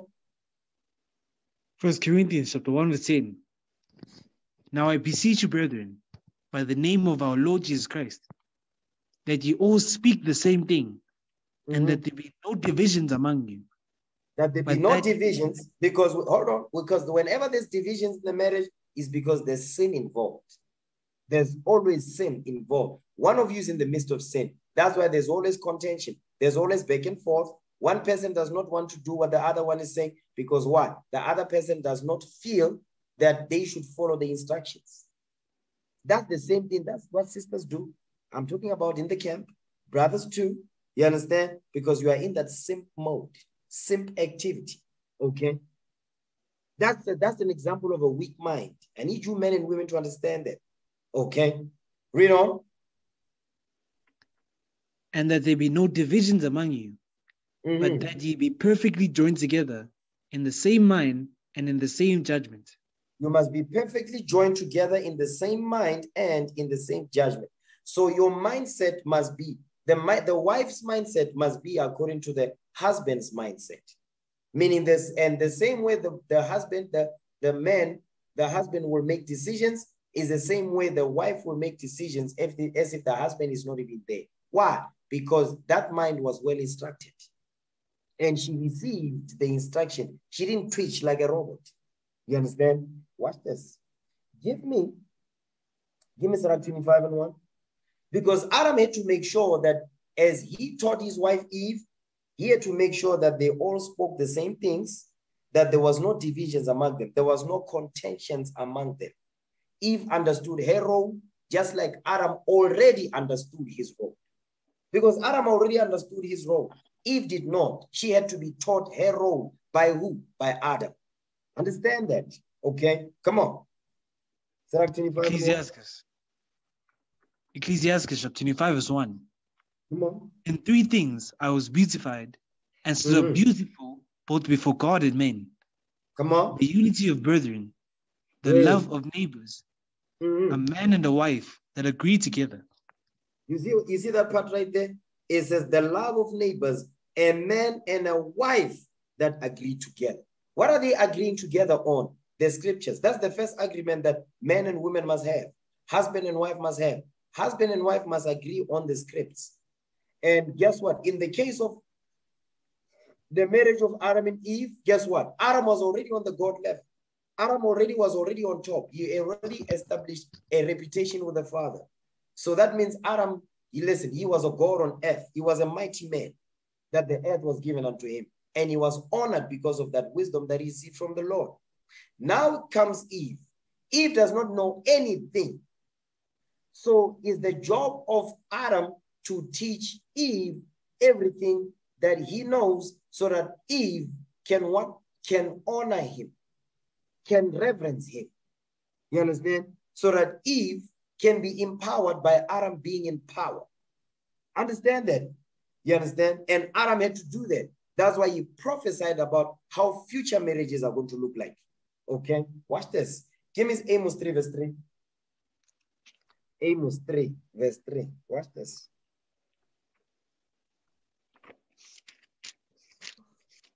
Amos chapter 3, verse 3.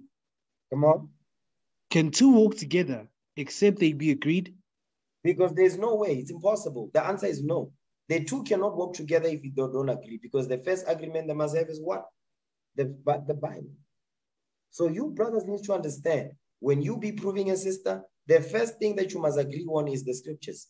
Both of you must have the love for the Most High. Both of you must agree on what the scripture says. Both of you must obey and humble down what the Bible says. No excuses. You understand? You have to be humbled down to what this Bible says. Both of you must understand your roles. The woman must understand her role. The brother must understand his role. Okay? That's why it says, read that again, verse 3. Amos chapter 3, verse 3. Come on. Can two walk together except they be agreed? Mhm. The answer is no, they cannot. Now watch this. Go back to First Corinthians 1, verse 10. I'm going to show you something with this. First Corinthians 1 and verse 10. Come on. First Corinthians chapter 1, verse 10. Read. Now I beseech you, brethren, by the name of our Lord Jesus Christ, that ye all speak the same thing, Mhm. and that there be no divisions among you, but that ye be perfectly joined together in the same mind and in the same judgment.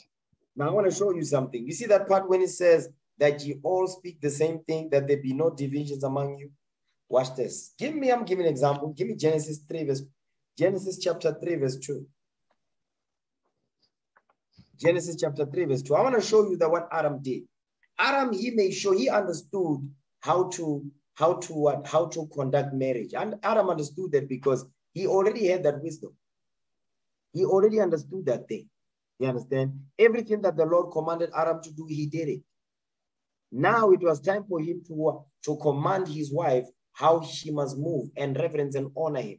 Okay, watch this. The proof of is what we're about to read. Genesis 3, verse 2. Read that. Genesis chapter 3, verse 2. Come on. And the and the woman said unto the serpent, Mhm. We may eat of the fruit of the trees of the garden. You see what the woman said? The woman is responding to the serpent now. It says, We may eat of the fruit of the trees of the garden. Go ahead. But of the fruit of the tree which is in the midst of the garden, God hath said, Ye shall not eat of it, neither shall ye touch it, lest ye die. So now, you see what the woman is saying to, to the serpent? Because so how did how did Eve know all of this? How did she know? How did she know that the fruit of the trees that is the, the we may eat of the fruit of the trees of the garden, but of the fruit of the tree which is in the midst of the garden, God has said, Ye shall not eat of it, neither shall ye touch it, lest ye die. How did she know? Give me that in Genesis 2 16. Watch this. Genesis 2, verse 16. Okay. Genesis chapter 2, verse 16. Read.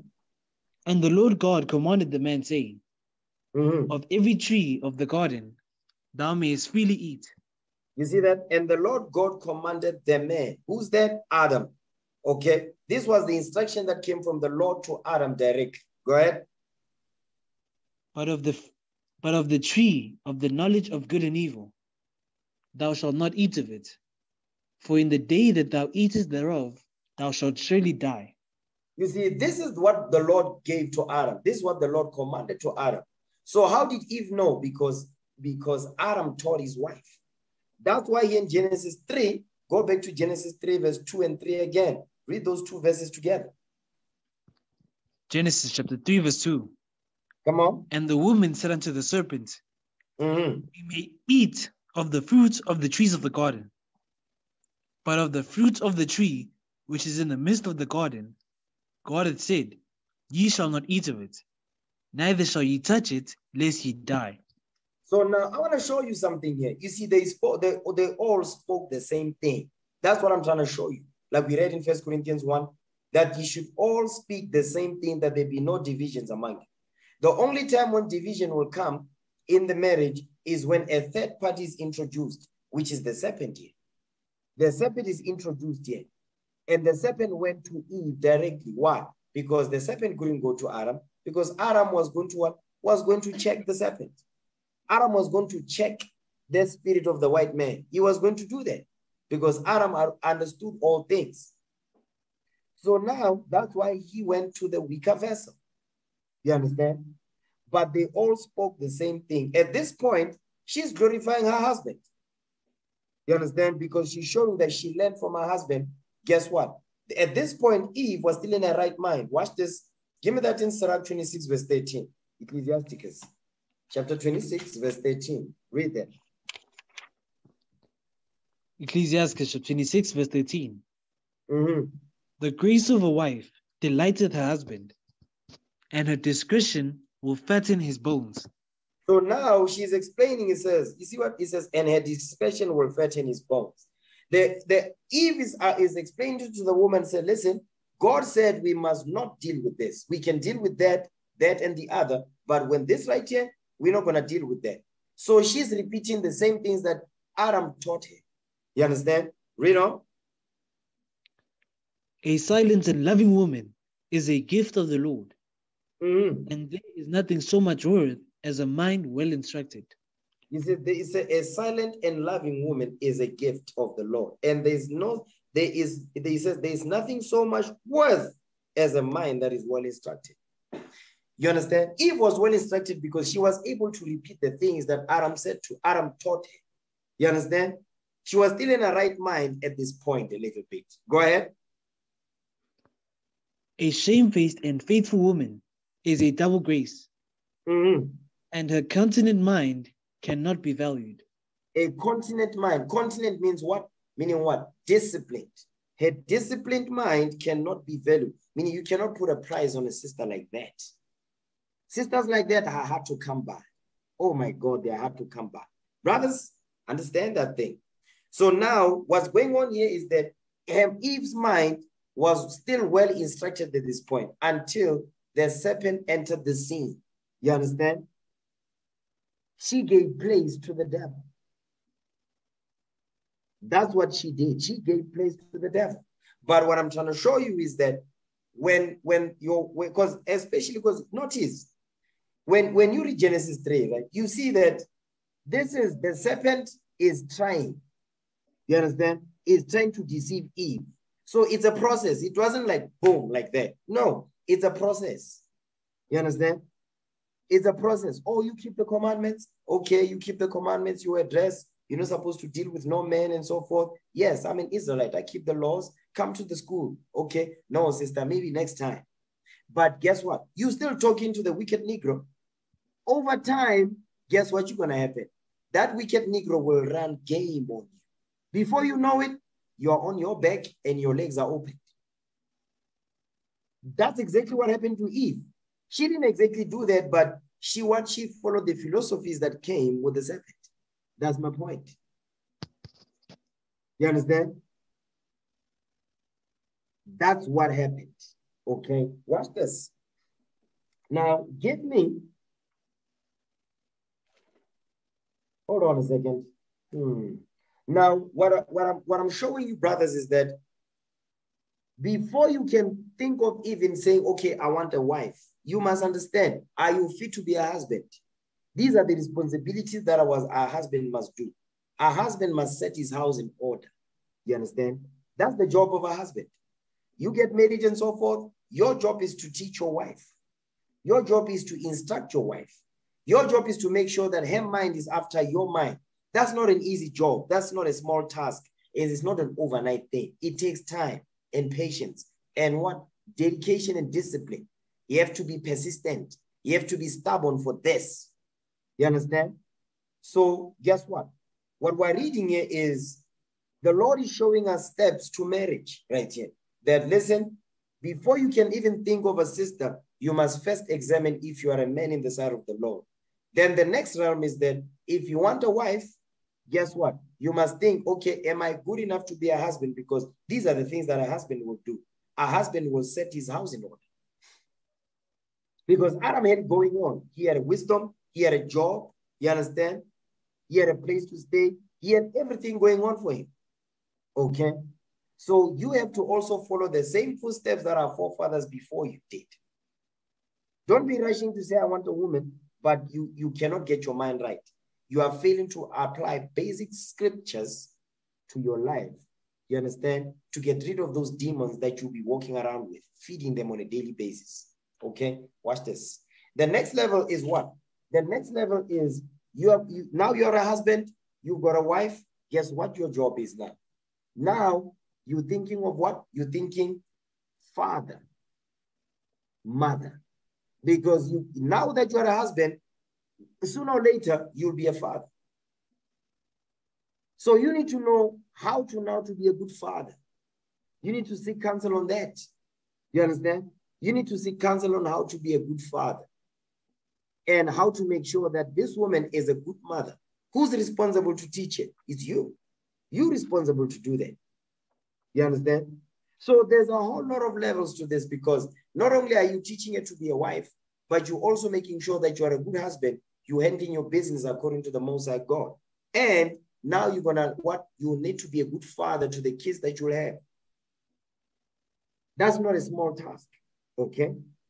And you're gonna have that you're not gonna have all your kids are not gonna be the same. They're, all of them are gonna move differently, but you have to enforce the laws of God in their minds. You're gonna have the rebellious ones, which you must what beat that behind. But my point is, it's not a small job, it's not a small task. Okay, what this? Give me the book of Genesis 4. Okay, Genesis chapter 4. Genesis 4, verse 1. These are the things that must enter your mind. Okay. There's, the same goes for the sisters as well. You are thinking of a man, you must ask, are you a good woman? You think of, of, of a Lord, you understand? You must, will I make a good wife?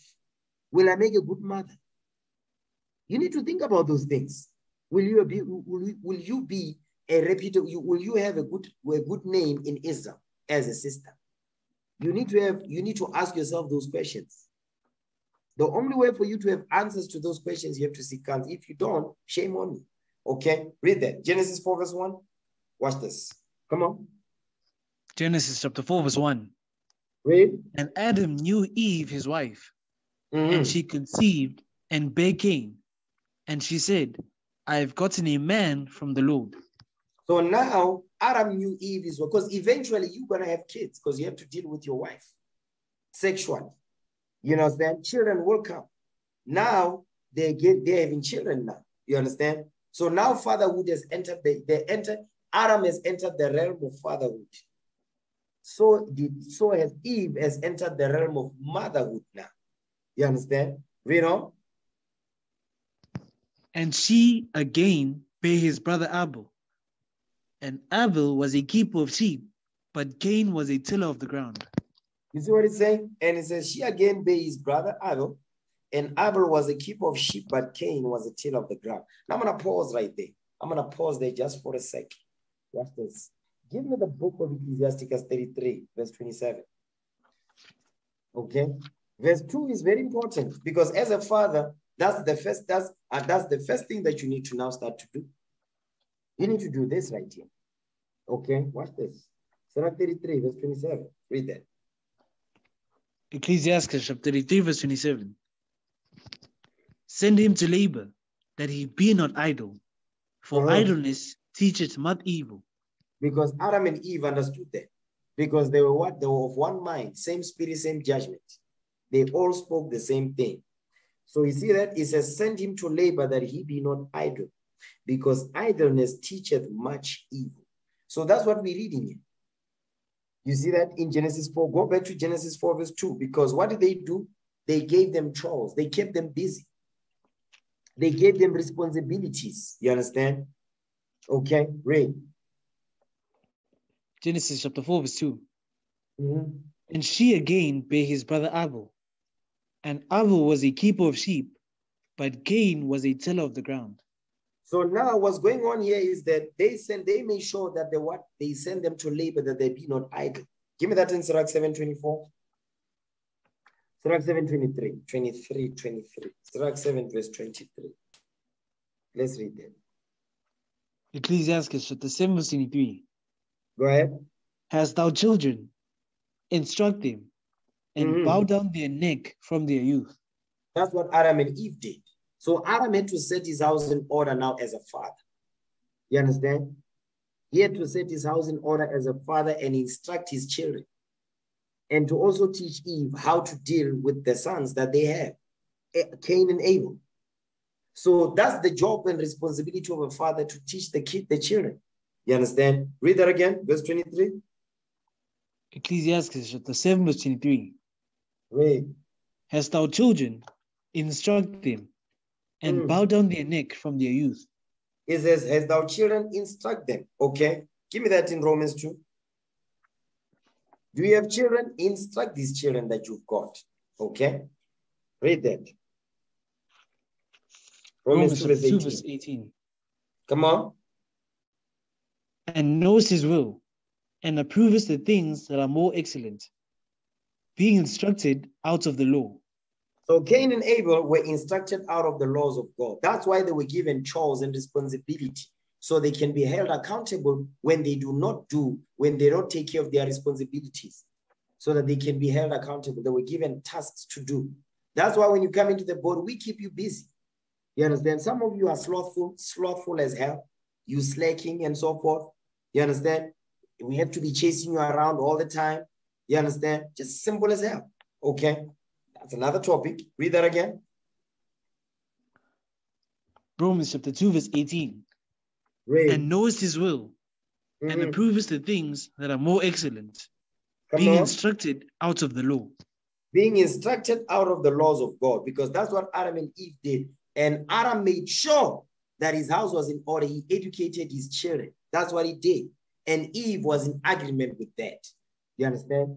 Watch this. Give me that in um, Sirach chapter 30 and verse 3. Ecclesiasticus chapter 30, verse 3. Watch this. Ecclesiasticus chapter 30, verse 3. Mhm. He that teacheth his son grieveth the enemy, Mm. and before his friends he shall rejoice of him. You see that thing? It says, He that teacheth his son grieveth the enemy. Because what did Adam do? Adam taught his sons, Cain and Abel. He taught them. You understand? He taught them. The proof of that, you get, go back to Genesis now. Genesis 4. Read Genesis 4, verse 3. Genesis chapter 4, verse 3. And in process of time it came to pass that Cain brought of the fruit of the ground an offering unto the Lord. So now what's happening here in verse 2, they were given chores. Verse 3, now they are given responsibility on how to handle problems in their life. You understand? So here in verse 3, Adam and Eve is teaching their sons on how to deal with issues when they arrive in their life. When they, wherever you're dealing with issues, this is what you must do. Read verse 3 again. Genesis chapter 4, verse 3. Mhm. And in process of time it came to pass that Cain brought of the fruit of the ground an offering unto the Lord. So now what's happening here is that this offering, we know these offerings was for the atonement of sins.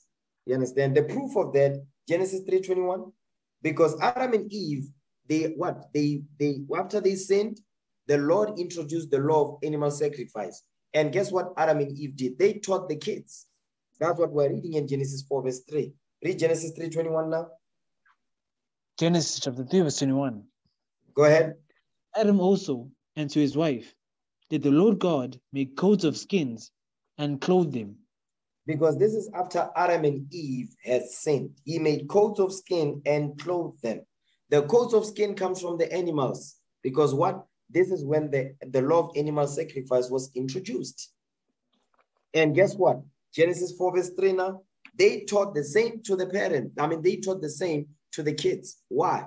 Because now when you mess up, this is how you recover from your mess ups. Okay, read that. Genesis 4, verse 3. Genesis chapter 4, verse 3. Go ahead. And in process of time it came to pass Mm. that Cain brought of the fruit of the ground an offering unto the Lord. Okay, an offering unto the Lord. Go ahead. Jump down And to verse Abel- 5. Verse 5. But unto Cain and to his offering he had not respect. Mhm. And Cain was very wroth, and his countenance fell. Because in verse 3, he didn't follow the command. He failed to follow the instruction. Okay, because in order for you to get atonement for your sins, you're not supposed to be bringing, bringing fruits and veggies. Where's the blood going to come from? You understand? Read, read on. Verse 6. And the Lord said unto Cain, Why art the wrath? And Mhm. why is thy continent falling? Why are you mad? Why are you angry? Because I gave you a command and you did not do it. Now, when I'm checking you, you're getting upset. such as some of you, brothers and sisters, too. You are given something to do, and when you don't do it, you get checked, you get upset. You see that? That's a simp move. That's the behavior of a simp. That's childlike behavior. Okay, go ahead. If thou doest well, shalt thou Mhm. not be accepted? If you do what I tell you, are you not going to be received? You know? And if thou doest not well, sin lieth at the door, Come on. and unto thee shall be his desire, Mhm. and thou shalt rule over him. Meaning Cain's desire will be to what? To worship the devil. Okay. But what I'm showing you here is that Cain was very self-willed. You understand? He was self-willed. He was presumptuous.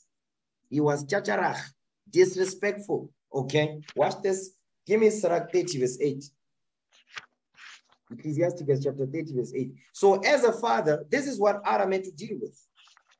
You understand? He had to deal with a, with a rebellious son. He had to deal with a rebellious child. You understand? A child that is out of order and disrespectful. Read that. Sirach 30. Okay, verse 8. Come on. Ecclesiasticus chapter 30, verse 8. Read. And horse not broken becometh headstrong, Mhm. and a child left to himself will be willful. That's exactly how Cain was. Cain was willful. Cain was willful. Even though he was given things to do, he decided to do his own thing. You understand? So he had, he had a what? A willful spirit. He hated instruction. Okay. Jump down to verse 11. Verse 11. Give him no liberty in his youth, and Mhm. wink not at his follies. You see what he's saying? Don't give him liberty in his youth. Because Adam and Eve did not give Cain liberty in his youth. They, that's why in verse 2 it says they were given responsibility. Abel was his job was to deal with the with the, with the sheep, and Cain's job was to, was to be a tiller of the ground. So they were given responsibility and accountability when they don't do what they're supposed to. But Cain, he was willful. You understand? And guess what? He had too much liberty. What, I, what do I mean by that? He was given chores, but he chose to do his own thing, his own way. Such is some of you. I mean, that's a shameless character to have. You cannot have some such a character like that. You call yourself an Israelite. No, no, no, no, no. You are not. Okay. Jump down to verse 13. Read verse 13. Come on. Verse 13. Chastise thy son, Mhm. and hold him to labor, Go ahead. lest his lewd behavior become be an offense unto thee. You see, let his lewd behavior, his disrespectful behavior be an offense unto thee. You understand? And that's that, these are things that we deal with on a daily basis in Israel. Let alone our people in the world that don't know this truth. But in Israel, this is the stuff that we have to deal with on a day. You understand? Watch this. Wisdom of Solomon. You understand? You know what? That's it on that. Go back. Um, go back to Genesis 4. Go back to Genesis. Read Genesis chapter 4 now, verse 4. Genesis 4, verse 4. Because you're not gonna have the same kids. That's why brothers and sisters walk in. You, I can I can tell you, spirit, that's that brother spirit is like this. That brother spirit like that, sister spirit is like that. So now when I deal with you, I have to deal with you according to that spirit. Being be, be it rebellious or not. If it's rebellious, yes, definitely you're gonna be put on blast every single time if you're rebellious. But if you really want to learn, you will really learn and you will grow. The choice is yours. Read what you got. Genesis 4, verse 4. Come on. Genesis chapter 4, verse 4. Read. And Abel, he also brought of the firstlings of his flock, Mhm. and of the fat thereof. Go ahead. And the Lord had respect unto Abel and to his offering. You see what?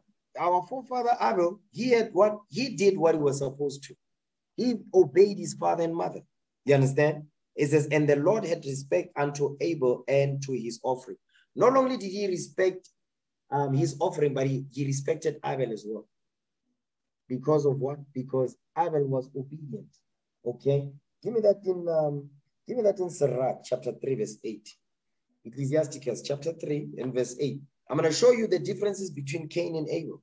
Okay. And guess what? When you have kids, that's exactly what you're going to deal with.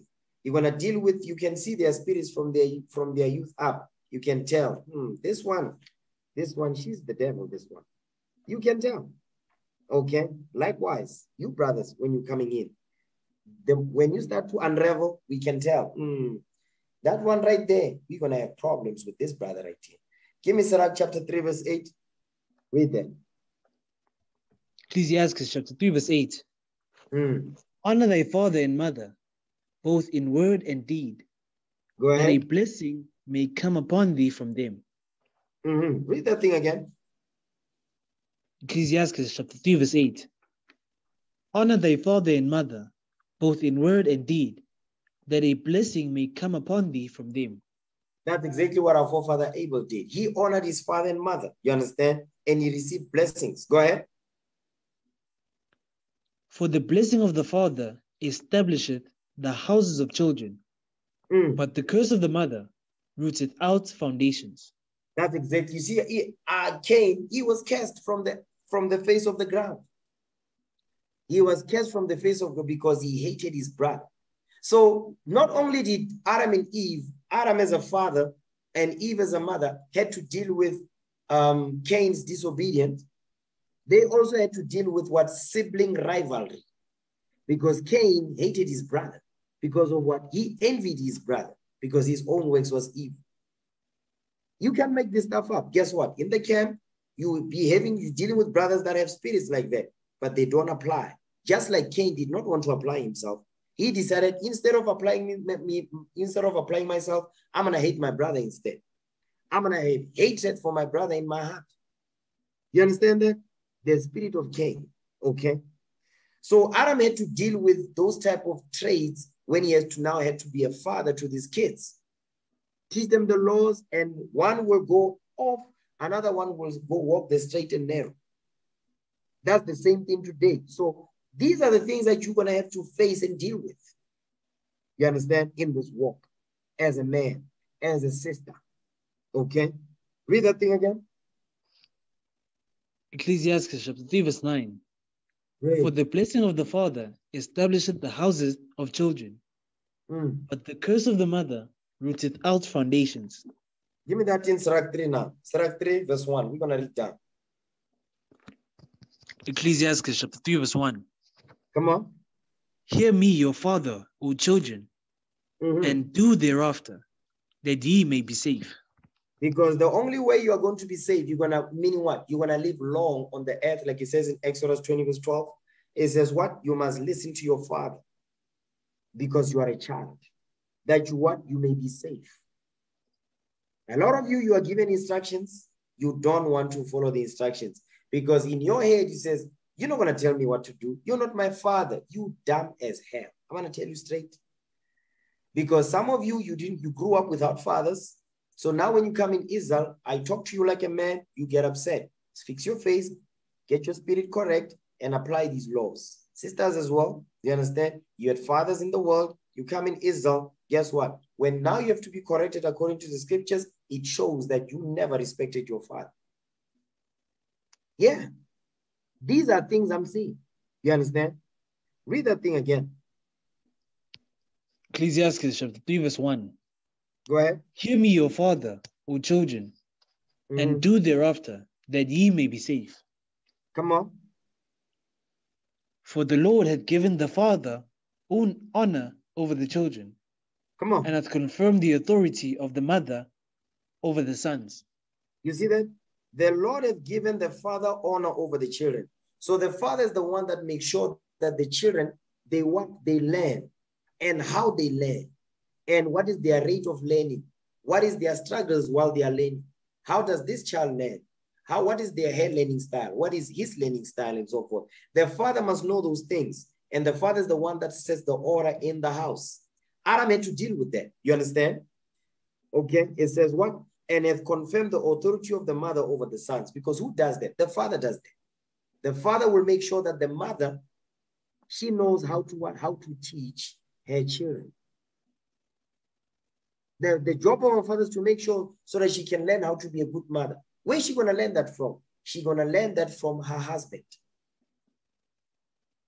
So Eve had to learn how to be a woman, how to be a wife, how to be a mother from Adam. I need you men to understand that thing. So now as they as we start to grow and grow, now we start to have older sisters and so forth. They are the ones that are going to teach these young ones, like you read in Titus 2, verse 3 down. But where did the older, where did the where the older ones, where do they learn this stuff from? They learn from their husbands. They learn from their fathers. You understand? The leadership. Okay. That's what the Lord is trying to show us. But a lot of us, we don't, our minds is closed. We don't really see what's going on. here. Okay. Watch this. Now go back to Genesis 2 now. Give me Genesis 2, verse 24. Watch this. You know what? Before you get me there, give me Sirach 24, verse 1. Sirach 24 and 1. Read them. Ecclesiasticus chapter 24, verse 1. Come on. Wisdom shall praise herself and shall glory in the midst of her people. Wisdom, wisdom will praise herself and shall glory in the midst of her people. The wisdom of the Lord will praise herself because guess what? The prophets will bring it out. The children of Israel, we will apply God's commandments, and that's how wisdom will praise herself among us, the congregation of the Lord. Jump down to verse 33 now. Come on. Verse 33. Mhm. I will yet pour out doctrine as prophecy Come on. and leave it to all ages forever. Now that's heavy right there. He says, I will pour out, I will yet pour out, yet. Meaning I'm still going to continue to do that, the Lord says. And he says, I will pour, I will yet pour out doctrine as prophecy and leave it to all ages forever. Meaning generation after generation, the Lord says, I'm going to give you that wisdom from the days of old, from the time of Adam. I'm still gonna give it unto this day, even beyond us. The Lord says, I'm gonna give you this wisdom. Through it, that will that will what that will live through all ages forever. Watch this. Now, the proof of that, keep reading, actually. Read verse 34. Watch this. Verse 34. Come on. Behold, that I have not labored for myself only, but for Mhm. all them that seek wisdom. So now Adam didn't labor for himself only. He labored for himself. Not only that, but he labored so that he can be able to teach his wife, that he can be able to teach his sons now that they have a family. You see that thing? So now, as a man, you thinking a woman, guess what? You must see if you are fit to be one. Secondly, you thinking wife, you must see if you are fit to be a husband. Thirdly, now that you are a husband, are you going to be fit to be a father? Now that you are a father, guess what you are doing now? The two of you, you are doing what? Nation building. That's what you're doing. Nation building, you see, if there's steps to get to that. With the, by the time you get to nation building, listen, your leadership skills have progressed by the time you get to nation building. Because now the building of your nation begins, it begins with you and begins in your house when you get married, begins with your children when you have kids after you've gotten married.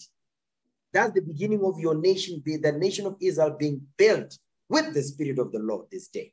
Understand that thing. Okay, watch this. Now, give me Genesis 2:24. Genesis 2, verse 24. We need to understand this thing because it says this wisdom will what will what will is going to be left for us to for all ages forever. Okay, read Genesis 2:24.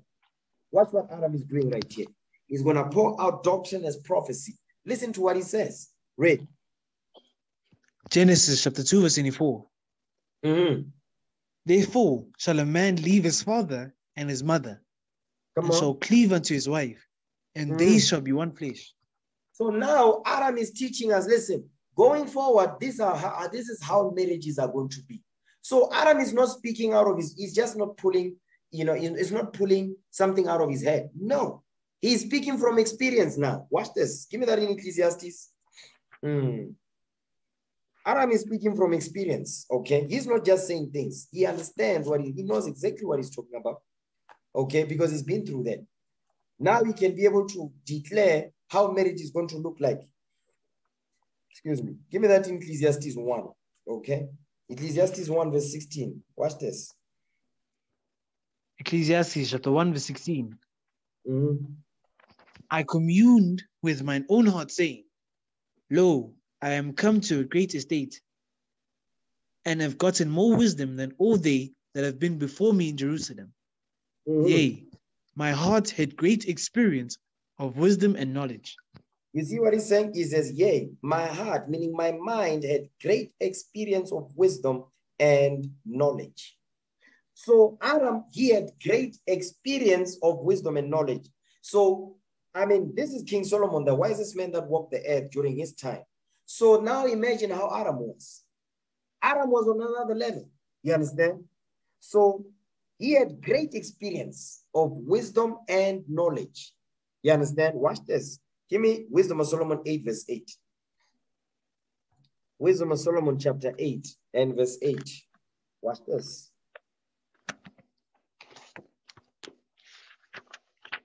Wisdom of Solomon, chapter 8, verse 8.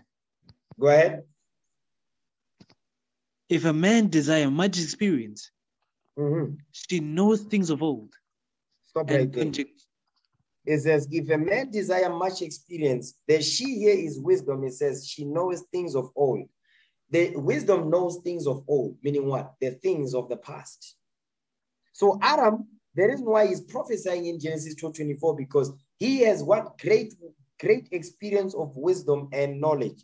That's why he's able to prophesy how marriage, future marriages must look like and how they must be conducted. Go ahead. and conjectureth aright what is to come. You see that that's prophecy. So it says, wisdom knoweth the things of old. So if you desire much experience, you will what? You will keep wisdom close unto you. Because wisdom knows the things of old, will give you experience. And it says, will conjecture aright what is to come.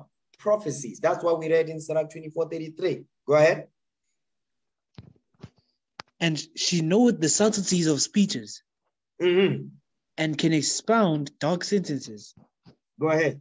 She foreseeth signs and wonders, Mm. and the events of seasons and times.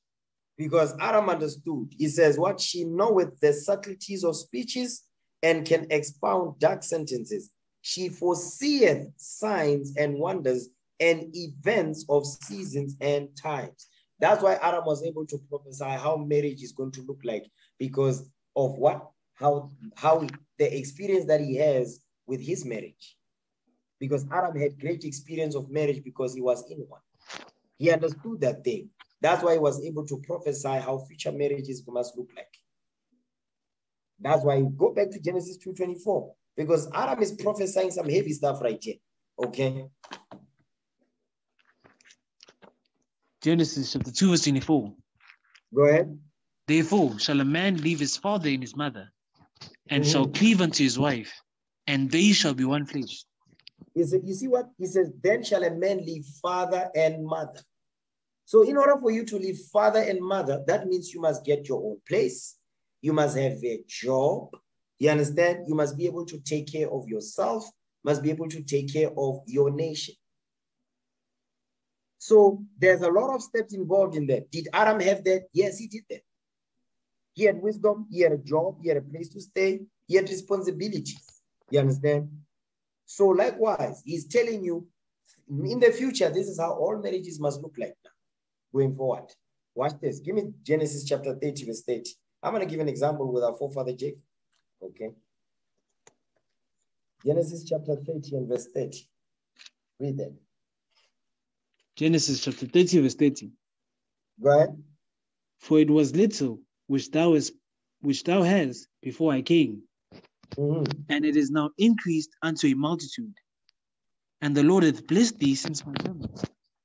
And now, when shall I provide for mine own house also? You see what he's saying? He says, listen, he's talking to his uncle Laban. He said, listen, he says, what it was little thou it was little, for it was little which thou hast before I came.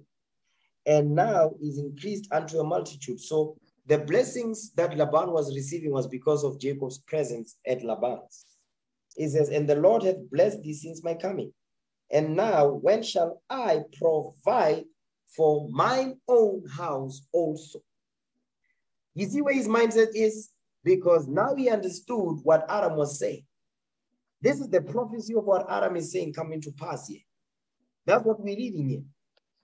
You understand? He, uh, our forefather Jacob understood this based on what our forefather Adam did.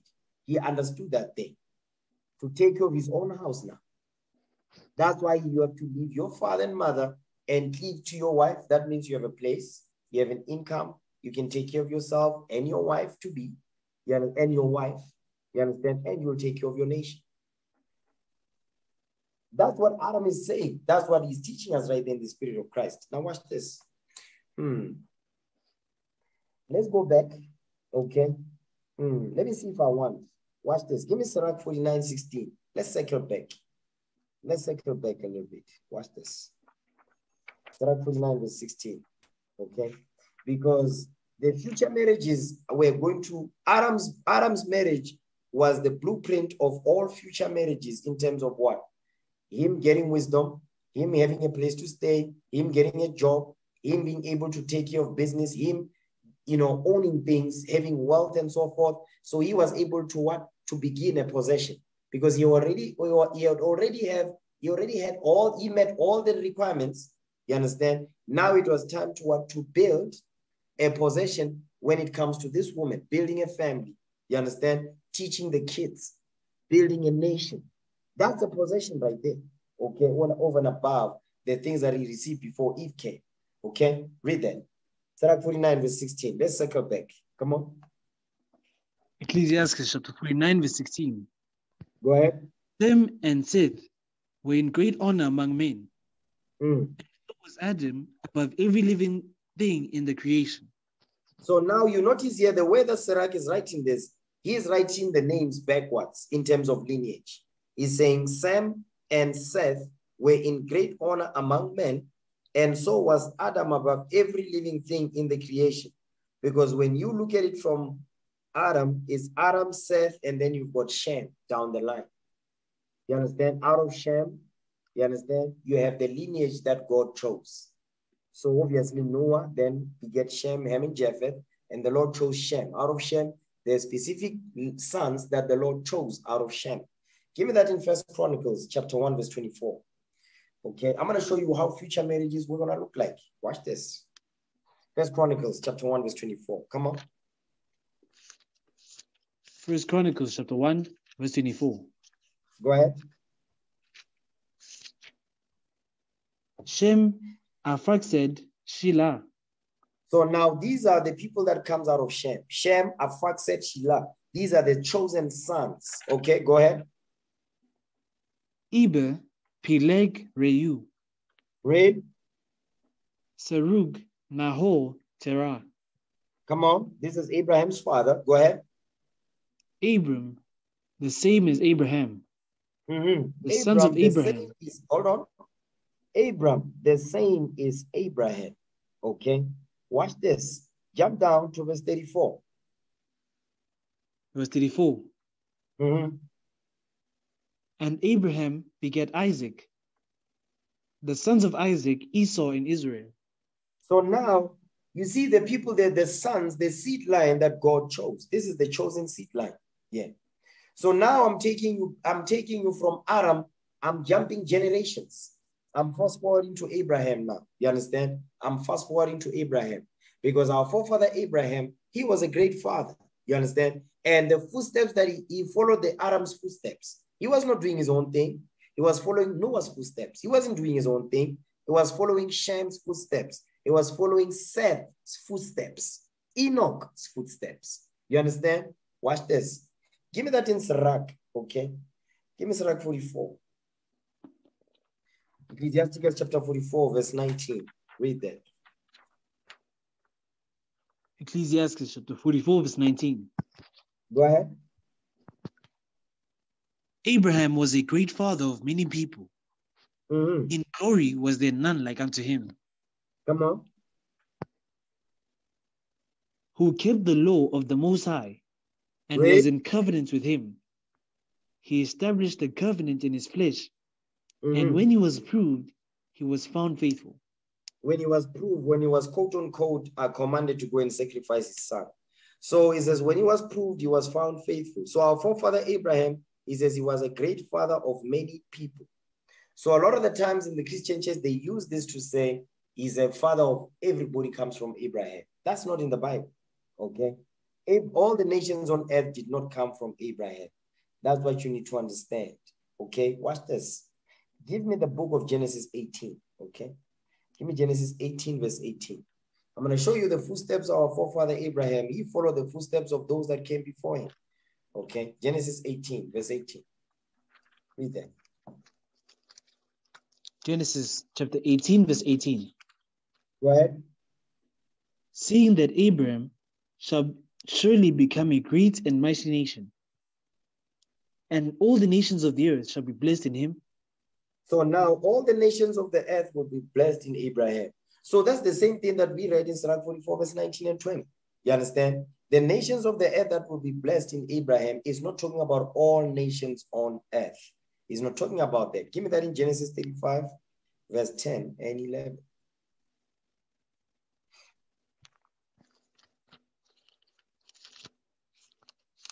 Genesis chapter 35, verse 10. And God said unto him, Thy name is Jacob. Thy name shall not be called any more Jacob, but Israel shall be thy name. Read. And he called his name Israel. Mhm, Come on. And God said unto him, I am God Almighty. Be fruitful and multiply. A nation and a company of nations shall be of thee, Mhm. and kings shall come out of thy loins. and kings will come out of thy loins, Jacob. So this blessing that is being bestowed upon Jacob is the same blessing that was bestowed upon who? Isaac and our forefather Abraham. Next verse. Go ahead. And the land which I gave Abraham and Isaac, to thee will I give it, and to thy Mhm. seed after thee will I give the land. The seed after thee. So the seeds that came out of Jacob is who? The 12 tribes. You understand? Get that in Genesis 26, verse 1 through 3.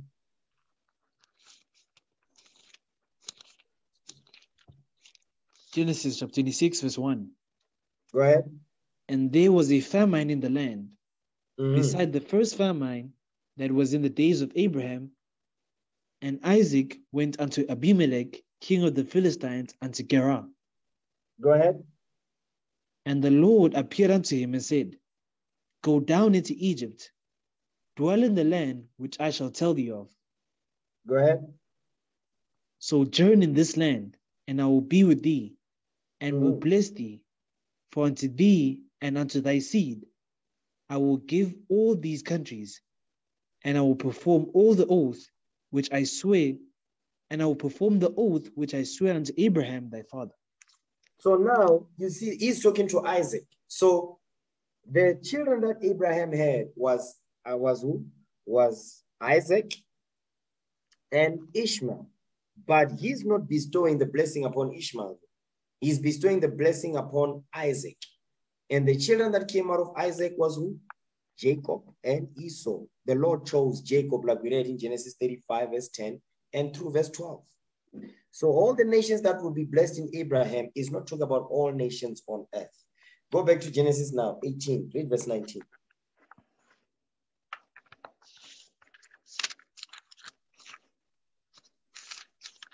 Genesis chapter 18, verse 19. Go ahead. For I know him, that he will command his children and his household after him, Mhm. and they shall keep the way of the Lord, to do justice and judgment, that the Lord may bring upon Abraham that which he hath spoken of him. So now what you notice here, the Lord says for him, he says, because I know him, that he will command his children and his household after him. So our, our forefather Abraham was not a simp, okay? He was an alpha male. Our forefather Abraham was not a simp. He was a good father, you understand? And he was a good husband. Understand that thing. Read again, verse 19. Come on, Genesis chapter 18, verse 19. go ahead. For I know him, that he will command his children and his household after him, Mhm. and they shall keep the way of the Lord, to do justice and judgment, that the Lord may bring upon Abraham that which he, that which he had spoken of him. So our forefather Abraham ruled his house. Our forefather Abraham commanded his house. He commanded his children and he commanded his household. That goes into his wife and the servants of his house. You understand? Everybody obeyed the command of Abraham. Everybody. Why? Because our forefather Abraham was an alpha male. He was not a simp. So this is this this is a good example for us to follow because he wasn't doing his own thing. He was following the examples of his forefathers that came before him. So likewise, this day we must do the same things. So gone are them days where you think of a sister, you're already thinking sex. You're, you're thinking, no, no, no, you know, she's got an hourglass and so forth. You simple as hell. You're already thinking sex, sex, sex. Listen, that thing is not going to last. You understand? After three to six months, that sensation is gone. You're no longer killing your toes no more and so forth. Now, all you have now is what? Conversation. Not only that, but are you a good husband? Is she a good wife? Is she a good woman? Will she be a good mother? Is she going to be able to be by my side 100%? Will she be able to, her mind will be after my mind? And so she can help me build the nation of Israel, teach my children when I go to war. Is she going to be able to support me? She's not going to open a big black mouth, be all up in my face. These are the things that you need to ask yourself. And the only way for you to know those things, you have to make sure that you understand the scriptures and you apply. You understand that you mirror what the Bible says and you are doing it. The sisters must do the same things. You have to make sure that he's not going to be a lazy bum. You understand? He's not going to be slothful. He's not going to be moving up in the ranks in the camp. He's always sitting down. He's always a brother. How come he's not getting any rank? What's going on? He's been here for two, three years. What, what's going on? How come he's not moving up in the rank? Something going on. Okay. That means you don't believe the mission. So you better stay away from that brother for a while until he gets his mind right. These are things that you need to look out for, okay, you sisters. Okay, read that in Sirach 6, verse 7, just to prove what I'm saying. Read that, Sirach 6 and 7, because I want to go somewhere else real quick. Ecclesiasticus chapter 6, verse 7. Go ahead. If thou wouldest get a friend, prove him 1st Mhm. and be not hasty to credit him. You see what the Bible is saying? That's how you make sure that you're not getting a simp for a wife or simp for or a bum for a husband. You just be looking at how good, how good he looks on the outside. You understand? He looks like a tripod when he's standing. Listen, those things are not going to last. Those are carnal things. They are not going to last. You're looking at she's got curves and so forth. She's got a big chest. That's what you're thinking about. Listen, that's not going to last. All she will know is how to make it clap. You understand? And she will be all up in your face. She will not respect or obey you or reverence you or respect you. Submit herself to you. Those are the those those things. Those are the things that make a man to be attracted to a sister. Because a sister, she's got a meek and a quiet spirit. She's not all up in a man's face. Okay. Now watch this. Give me that in Sirach 19, verse 4. Read.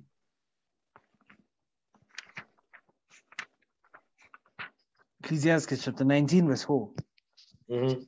He that is hasty to give credit is light minded, Mm. and he that sinneth shall offend against his own soul. You see what the Bible is saying? Read that part again. Ecclesiasticus chapter 19, verse 4. Mhm.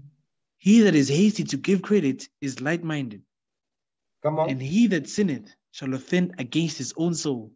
So now, if you are too quick to give credit, it says what? It says you are simple, you are dumb, or stupid. Okay? It says, He that sinneth shall offend against his own. What is the sin? You are too hasty to give credit. Sirach 11, verse 2. Read that. Ecclesiasticus chapter 11, verse 2. Go ahead. Command not a man, commend not a man for his beauty, Mhm. neither abhor a man for his outward appearance. You see that? Don't just be looking at the outside because that's that's not the first thing that Adam received. Adam received wisdom. That was the main important thing, first and foremost. Because a man will be commended for his wisdom, not for his looks. So if in the world that's how you used to pick based on how they look and all that, but you don't really get to speak to them so they open their mouth, guess what? You're just gonna lay with them. Why? Because they look good on the outside. But inwardly they are they are full of what? They are full of deceit. They are full of bs okay? So you sisters don't be don't be fooled. You brothers as well don't be fooled by fooled by these sisters that will flatter you with the tongue don't be simple up in here. Okay now that's another topic watch this Go back to Genesis. Get, get- go back to um, Genesis 18, verse 19. I just wanted to bring that up so we understand. Genesis 18, verse 19. Read that.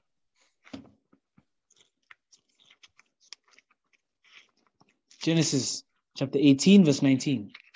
Go ahead. For I know him, that he will command his children and his household after him, Mhm. and they shall keep the way of the Lord, to do justice and judgment, that the Lord may bring upon Abraham that with he, that which he had spoken of him. So now he says he will command his children. So Abraham, did he command his children? Yes, he did. Watch this. Give me the book of Genesis, Genesis 21. Read Genesis chapter 21, verse 8. Yeah, Genesis 21, verse 8. That's what I want right there. Watch this. This scripture right here, what we're about to read, is twofold. Watch this. Genesis 21, verse 8.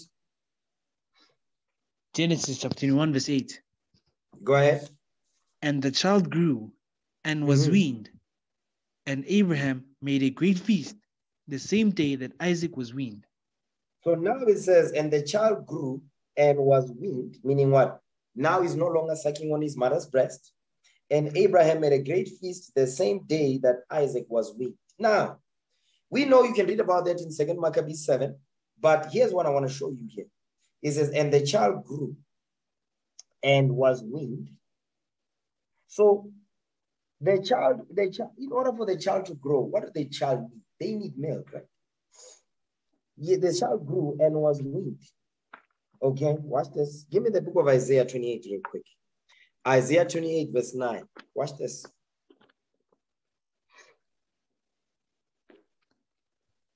Isaiah chapter 28, verse 9. Come on. Whom shall he teach knowledge? And whom Mhm. shall he make to understand doctrine? Come on. Him that are weaned from the milk and drawn from the breasts. So he says, Whom shall the Most High God teach his knowledge? Whom shall the Lord make to understand his doctrine? Them that are weaned from the milk and drawn from the breasts. So the knowledge and the doctrine is to goes into God's commandments. So Abraham, of course, he taught his children, including Isaac, because Ishmael was one, but Isaac was taught as well, was taught the commandments of the Lord. He was made to understand God's knowledge and God's doctrine. Abraham taught his children. He commanded his children according to the laws of God. He was not a simp. He commanded them. He didn't ask them. He didn't beg them. He didn't say, come on, little no, no. None of that went down. Okay. That's why our forefather Isaac was the way that he was. He was a man of wisdom. Our forefather Jacob, our father Jacob, he was a man of wisdom. Why? Because of Abraham. Our forefather Abraham. You understand? That's why. Watch this. Now, go back to Genesis 18. Read verse 19 again.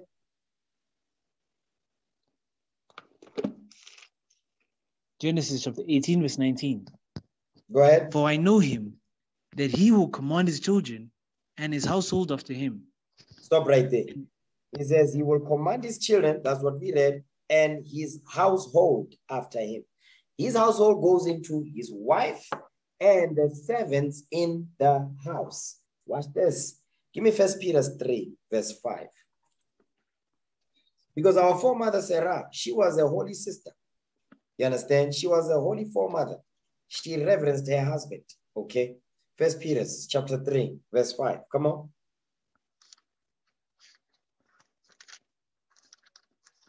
First Peter chapter 3, verse 5. Read.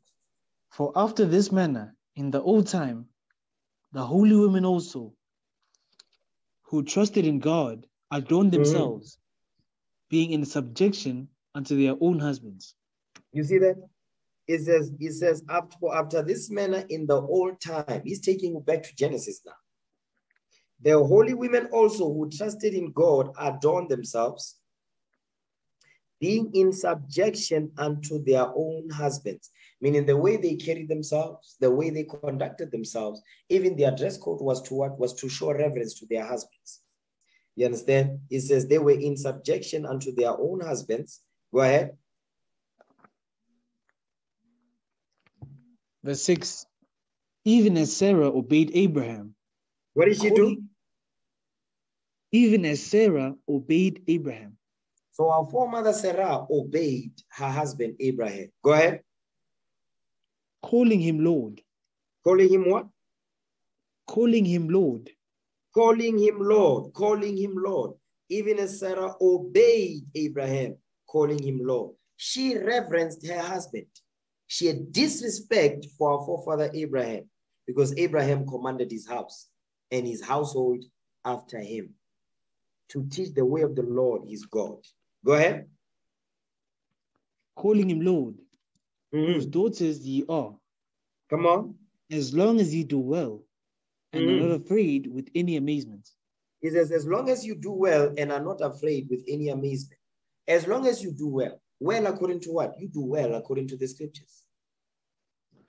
That's why a lot of the time, sisters, when we bring things out, a lot of you, you twitch like robots. Why? Because you don't want to do well. That's why you're always afraid with amazement. You're always shocked all the time. You understand? How do I have to do that? Yes, sister, you got to do that. Get your mind right, sister. Why? Because this is our this is the example our foremothers set behind. These are the example that our foremothers left behind for you, sisters. And at the command of a man, a leader in the house, our forefather Abraham. So, likewise, you brothers, you must have the same mindset. But it takes time and patience for you to ascend into the mindset of our forefathers Abraham. It's not a walk in the park. You understand? In order, if you're looking for your Sarah, you must be that Abraham. And for you to be Abraham, oh gosh, you need to what? You need to be in this book. You cannot be fake. You can't be phony. You understand? You can't be faking the funk up in here. You must keep it 100 as the scripture says to do. You understand? Now go back to Sirach 44, okay? Ecclesiasticus chapter 44. Uh, read verse 21. Because our forefather Abraham, he followed the footsteps of our forefathers behind, before him. Watch this. Sirach 44. The blessing that was bestowed upon Abraham, he bestowed it upon his seed, Isaac, and ultimately his grandson, Jacob, okay? And his great grandsons, which is the 12 tribes. Sirach, okay, chapter 44, verse 21. Ecclesiasticus chapter 44, verse 21. Go ahead. Therefore, he assured him by an oath Mhm. that he would bless the nations in his seed, Read. and that he would multiply him as the dust of the earth, and exalt his seed as the stars, And do what? and, and exalt his seed as the stars, and exalt and exalt and exalt his seed, meaning set on high his children as the stars. Go ahead. and exalt his seed as the stars, and Mhm. cause to inherit from sea to sea, Well, and from the river unto the utmost part of the land. so now this is going into what the land of Israel, if you read Deuteronomy 11 21 down. Go ahead. With Isaac did he establish likewise, Meaning the same blessing that was given to our forefather Abraham was bestowed upon our forefather, grandfather Isaac. Go ahead. for Abraham his, his father's sake, Read. the blessing of all men and the Mhm. covenant, Come on. The blessing of all men, the all men will be explained in the next verse. Come on. and made it rest upon the head of Jacob. Mhm. He acknowledged him in his blessing Read. and gave him an heritage, and divided his portions among the twelve tribes did he part them. So now the the the the, the blessing that was given to our forefather Abraham, to our grandfather uh, Isaac, and to our father Jacob was what? Was put upon the seed that came out of Jacob, which is the 12 tribes of Israel, which is us this day. So the same honor that they received is the same honor that will be passed down generations after generation, which is us today. So the only way, if you want to see how hon- marriage is, this is how marriage becomes honorable. Why? Because the honor first comes in through what? The wisdom of the Lord. You will not be, we will not be honored as a nation without God's laws. We will not be honored as a nation without the wisdom of the Lord upon us. And it starts with what? It starts with the man, and then the woman, then the children, then the nation gets to what? Gets to receive the same honor, you understand, that was bestowed upon the fathers before us. That's what it means marriage is honorable. then as a nation we get to be exalted. You understand? Watch this. Give me that in um, Deuteronomy 7, verse 6. As a nation, we get to be exalted above all nations on earth. Why? Through wisdom. Okay? Deuteronomy 7, verse 6. Read that. Deuteronomy chapter 7, verse 6. Go ahead. For thou art an holy people unto the Lord thy God. Come on. The Lord thy God hath chosen thee to be a special people unto himself, Mhm. above all people that are upon the face of the earth.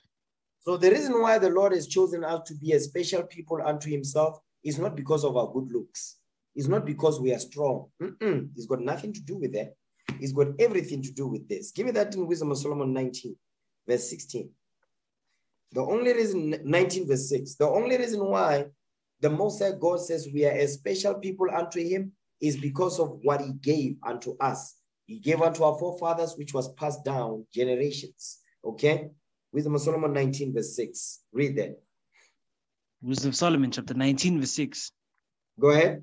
For the whole creature in his proper kind was fashioned again anew, Mhm. serving the serving the peculiar commandments that were given unto them, that thy children might be kept without hurt. The whole creature is the whole creation, the 12 tribes of Israel, in his proper kind. Because the Lord gave us laws. Give me that in Ecclesiastes 7:29. Ecclesiastes chapter 7, verse 29. The Most High God gave us laws to be upright. Okay. In the in our proper kind. Watch this. Read that. Ecclesiastes chapter 7, verse 29. Lo, this only have I found, that Mhm. God hath made man upright, You see that? but they God has made, hold on, God has made man upright. The reason why what makes us upright is because of the upright laws that was given to us. That's what makes us special and separate and exclusive from all nations on earth. That's the only reason why we are special unto the Lord because of the laws that he gave unto us. Go back to Wisdom of Solomon 19, verse 6. God's laws is what made us to be upright before all these nations on earth. Read what you got. Come on. Wisdom of Solomon chapter 19, verse 6. Read. For the whole creature in his proper kind was fashioned again anew, Mhm. serving the peculiar commandments that were given unto them, that thy children might be kept without hurt. You see that? That our children may be kept without hurt. So when it says the whole creatures, that's the whole creation, the 12 tribes, like we read in Sirach 44, it says in his proper kind, because we, we're given the laws to be upright, was fashioned again anew, to be born again, saving the peculiar commandments that was given unto them. That's what makes us special. That's what makes marriage honorable because the only reason why the 12 tribes was even born on this earth was because of what? Marriage. Our fathers, Jacob and his wives, you understand? Leah and Rachel. That's the only reason why we are here on this earth because of that marriage. Because of the marriage of Adam and Eve. Because of what, the marriage of our forefather Abraham and our foremother Sarah. And they guess what? They govern those marriages by God's laws. That's why marriage is honorable. So it goes deeper than that. So it's not just you just having your wife and all that, having your little kids down. Mm-mm. It's bigger than just you and your wife and your kids. It's bigger than that. It's about the nation of Israel. Okay? It's about God's chosen people. Understand that thing. Okay? Go back to Deuteronomy 7. Okay? Deuteronomy 7, verse 6 again.